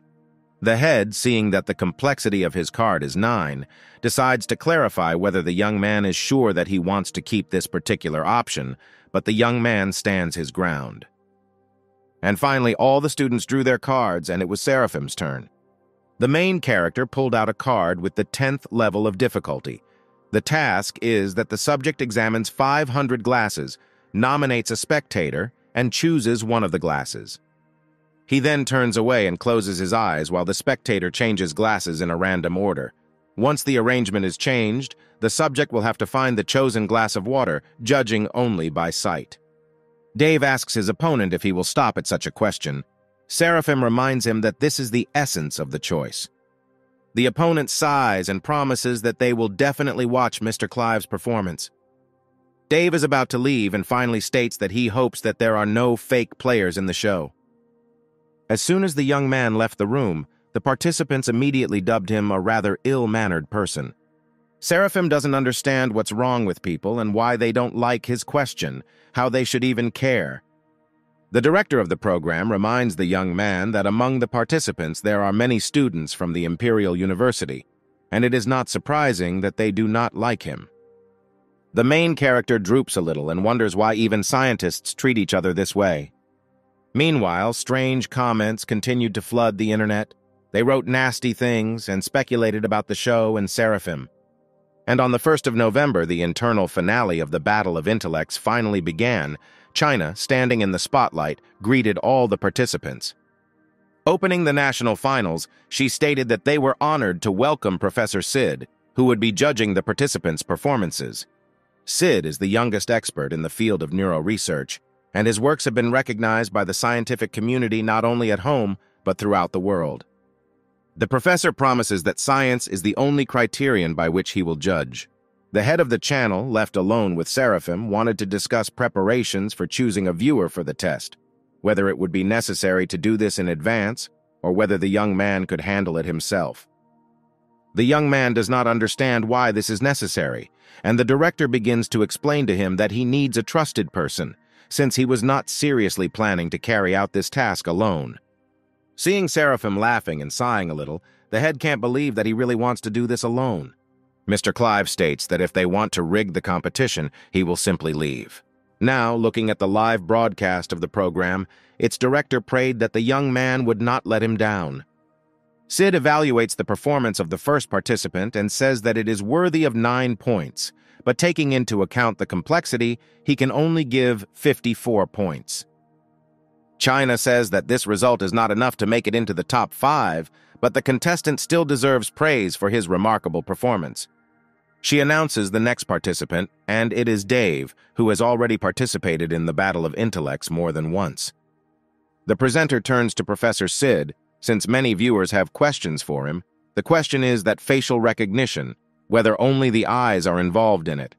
Sid responds that intelligence involves not only memory and calculation ability, but also visual processing skills and much more. Some people are able to recognize spatial distances faster than others, other people can recognize the pitch of sounds faster, for example. The professor explains that these are all different types of mental abilities. As the competition progressed, Dave finally found the right face. Sid notes that taking into account the complexity, the young man's performance can be called ideal. For such a short execution time, he can give him 10 points. China announces that if the points are multiplied, Dave's current highest score is 95. The presenter announces the next contender. He turns out to be the winner of the qualifying round named Seraphim Clive. She is surprised by the complexity of his task. Sid replies that before he begins, he wants to express his surprise that someone chose this question, which he did not expect. This question was intended as a model for other tasks to establish the difficulty. China replies that first they need to choose a spectator who will help with the task. Finally, one of the spectators was chosen, he quickly walked onto the stage and stood next to Seraphim. At the second studio, while others are watching what is happening, the participant asks Dave why he proposed a viewer. Did he really want to put on a show with Seraphim in the title role? The young man replies that he has nothing to do with this. He just doesn't want anyone to rig the results. Backstage, he checked all the props to make sure they were in order too. Dave suggests that even if this Seraphim has aces up his sleeve, the only way to see the difference in glasses is by resorting to cheating. Unless the spectator is a figurehead, only shame awaits him. One of the participants also suspects that this task cannot be completed without cheating, but Dave believes that it is unknown how this fool Seraphim entered Anna University in the first place. The viewer looks carefully at the glasses and realizes that there seem to be no markings on them. Finally, he selects two glasses and points them to Seraphim. After examining the glasses a bit, China asks him if they can move on to the next part of the challenge. A sleep mask is put on the young man so that he definitely cannot see anything. The presenter wants to know what the professor thinks about Seraphim's chances of success. Sid does not risk assuming the likelihood of success, but he believes that this test has reached the limit of human capabilities. But since he is asked so, he thinks that the young man's chance of guessing is close to 1%. China notes that she can't believe the professor has such a bad opinion of Seraphim, but Sid reiterates that he adheres to scientific criteria. Mr. Clive made her choice, and also pointing to the glass, raising his head, he was a little shocked by the look of the presenter. The girl noted that less than two minutes had passed. She wanted to know if he was finally sure of his choice.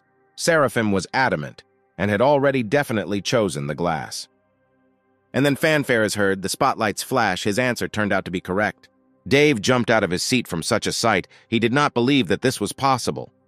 Another participant suggests that maybe it was a special glass, such as a bottom that was too thin or thick compared to others. But Dave understands that this cannot be. He saw them with his own eyes. Even using the defocusing technique, it is impossible to distinguish them. China wants to ask what the secret of Seraphim's success is. These words made the young man a little embarrassed. The presenter turns to Professor Sid, saying that a couple of minutes ago he had a low opinion of this participant, but he ideally completed the test, and now everyone wants to know if there is a scientific explanation for this. Clapping his hands, the judge suggests that Seraphim has an exceptional skill, four-dimensional vision. He explains that everyone knows that mammals cannot distinguish between yellow and abstract colors. Using an example, he shows that in their eyes, tigers and plants are the same color, the eye of an ordinary person can recognize three colors. Crows, for example, they see exclusively black. but birds, on the contrary, see crows as multicolored. Only those who have four-color vision can see shades that are inaccessible to the eye of an ordinary person. Scientific research has long proven that water reflects ultraviolet rays, and if human vision can discern these rays, the water will have a certain color. China is delighted, which means that the talented seraphim relies on special vision and can see what is hidden from the eyes of an ordinary person. Sid notes that this is not all. The water is constantly in motion. After the order of the glasses was changed, the surface of the water also underwent changes. To complete this test, you need not only exceptional vision, but also high skills and graphic thinking. This is the only way to find the similarity of water patterns that have changed. Sid could not even imagine that this task could be completed to perfection. He reads that this is perhaps worthy of the title of winner of the Battle of Intellects tournament. The professor believes that the young man can rightfully be called the King of Intellect. At the same time, a foreign tournament of the Battle of Intellects was held. At the height of the show, William was informed that information had appeared that a strong rival had appeared in China. And it seems this genius got a perfect score for his microscopic identification of water. After conducting an analysis, their management came to the conclusion that this task could not be completed. William goes on a tirade about how these narrow-eyed monkeys can't seem to get rid of their inferiority complex and always make these false claims. And since they have decided to take such a step, William is afraid that Chinese representatives of the program will soon contact them. He assumes that this was all done to preserve his reputation. William decides that he will need to rip off as much money as possible from them and win the tournament. The assistant is wary that competitors might reveal something secret about them and start pursuing them, but William is not worried. But he is not worried because even if they dare to dig deeper and even use the money, this could be their own end. Moreover, if he loses to this amateur, the Chinese version of the program will cease to exist forever. William believes that this is the way of the world. Being weak is the worst sin. Only the strongest can survive. Coming out of the building, Seraphim didn't even really have time to understand anything when he was grabbed by the hand and dragged along. Only after a couple more seconds did the young man realize that he was being resolutely pulled along by Miss Hazel. Suddenly she stops and, turning her flushed face to him, asks if he is free, because she has one request for him. Seraphim does not yet understand what she specifically wants from him. Miss Grace blushes even more and admits that this is a personal matter and she needs his help. The young man laughs and asks her to tell him everything. They are not strangers. Hazel gathers her strength and admits that her parents insisted that she go on a blind date. And she wants Seraphim to pretend to be her boyfriend. This request shocked the hero. Mr. Clive tries to delicately say that he has a girlfriend. And why doesn't Hazel turn to someone else? She admits that she has had no friends since childhood, and Seraphim is the only one with whom she communicates closely. Seeing that the young man does not want to participate in this adventure, she decides to resort to blackmail and declares that if he does not help her, he can forget about her. Seraphim asks not to scare him anymore, and he still agrees to help her. The girl happily grabs his hands and continues to drag him along in an unknown direction. She decides to tell him that they are going shopping, because the young man did not think that he would go on a date in such an outfit. Seraphim objects and says that it seems to him that there is nothing wrong with these clothes. Hazel explains that his outfit is suitable for everyday wear, but is not suitable for such a special occasion, so they need to buy him a formal suit. The young man was a little taken aback. The last time he wore a suit was when he was a child. He has no choice but to obey his fake girlfriend. And now he enters the restaurant dressed in a brand new suit. Seeing the decoration of the establishment where they came, Seraphim understands that this is a good place. Hazel admits that she doesn't know what her parents were thinking, but they introduced her to a 30-year-old man. She doesn't understand. Her relatives apparently believe that she is not able to find a husband for herself, but this should be a man who matches her, and is no less talented. They are finally greeted by a waitress who wants to know if they have reserved a table. Seraphim replies that they will send Terry here to meet with Lucius. Finally, the girl leads them to the desired table, where a man was already waiting for them. Lucius gets up from the table to greet Hazel, but immediately notices that another companion is with her. The girl cuddles up to her boyfriend and also greets Mr. Terry, introducing Seraphim as her boyfriend. She admits that she came here only to talk. Lucius invites them to the table to talk calmly. Hazel, meanwhile, asks Seraphim to bring another table, which was not originally designed for three people. The young man sits down at the table and notices the man's incredulous look. He probably doesn't believe that the young people are close. Lucius admits that he has no idea what Seraphim is doing. The hero immediately replied that he is a student from Anna University. The young man goes on the offensive, saying that he has a rich family, and declaring that he is prettier than Lucius, although they, of course, cannot compare in age. Seraphim wants to know how old his competitor turned this year. He assumes that he is 40. Mr. Terry chuckles in response and notes that the young man is also quite eloquent. Nervously hitting the table, he wants to know how Seraphim's family earns money. The hero doesn't understand why his family is being discussed here, or whether Lucius is so old that he still checks other people's accounts, or maybe he has some problems with his own. The man decides to ignore this and move on to the fact that he heard that Miss Grace does not have a man. Seraphim laughs. He calls Lucius a fool because the young man immediately said his reason for being here. He presses Hazel closer to him and declares that this is his woman, with whom he fell in love at first sight. Sooner or later their parents will find out about this, so he advises Lucius to stop courting Miss Grace. This infuriates the man. He gets up from the table, shouting that he will deal with Seraphim, if not now, later. As soon as Lucius disappeared from sight, the young man turned to Hazel and began to beg her forgiveness. He admits that the enemy managed to piss him off, to which the girl only laughs and replies that she understands everything. She thanks Seraphim once again for helping her, and now she doesn't even know how to repay him, or maybe he can become her real boyfriend. The young man laughs in response and asks the girl not to be stupid. Their awkward situation was resolved by a call. It turned out that the director of the television station was calling Seraphim. He quickly said goodbye to Hazel and made fun of them to leave here as soon as possible. Seeing how quickly Seraphim left, Miss Grace felt a sense of sadness in herself. She was even afraid to ask herself whether she liked the young man. Already in the television station building, the head apologized to Mr. Clive for forcing him to come so urgently. Seraphim, on the contrary, is grateful to his call because it helped him escape. He would be in trouble if Liana found out that Hazel was molesting him. Entering the office, the young man noticed that all the participants had already gathered. Dave noted that Mr. Clive was the last to arrive again. Seraphim laughs and asks him to understand. He is a freshman. He has so many classes that it is difficult to find free time. The other participants looked at him in surprise. They even managed to forget that he was only a first-year student. The head finally tells why he gathered them all here today. It turns out that to break the news, they invited two academicians to prepare them for the international tournament.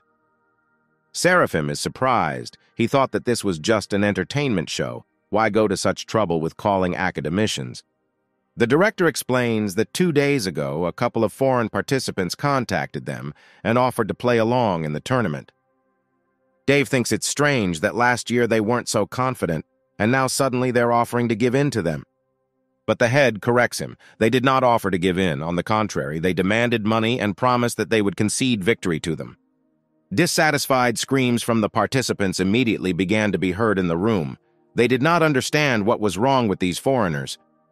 The head admits that they did not know what was being planned against them, so they decided to refuse their offer. But immediately after that, they dissolved the international company. Now they claim that they tried to bribe them to fake the results of the tournament, and of course they allegedly refused them. Right now, the media is engaged in malicious speculation by spreading slander and calling them academic scammers. This is an extraordinary situation. Many countries have turned against them. One might say the nature of the tournament has changed. They must win. Losing is unacceptable. At the same time, Seraphim received a new mission, called Science Without Borders. He needs to prove to the world that science is pure, conspiracy and fraud are unacceptable. The chapter introduces participants to the same academicians from the Thai Academy of Sciences, who will now be responsible for their preparation. Academician Josh speaks first. He says that they are all the pride of their country, and quite possibly the greatest representatives of the human race. But it is stipulated that even top-notch athletes with the help of professional coaches can improve their results, this is a team competition, and the focus of abilities varies from competition to competition. Therefore, he must test their abilities of memory, calculation, observation, as well as experience and intuition, after which they will determine the order in which they will perform. It will depend on the strength of each participant. The preparation will take them about a week, so he advises everyone to work hard and do everything possible to bring victory to their country. As soon as these speeches stopped, the participants decided that they were already free and went home. The director didn't understand this. Wasn't it said that the preparation would last a week? Why did they all run away on the first day? Josh notes that there is no need to be here all the time, and also wants to say that he does not believe that they finally have an all-round genius. This time, they will definitely win. A week later, standing at the airport, Seraphim said goodbye to Liana. The girl was excited and wanted her boyfriend to give it his all. The companion reassured her and promised that he would not lose. A warning sounded that boarding for his flight had already begun. Seraphim hurried to take his seat and finally told her to be confident in him. He is the most powerful genius.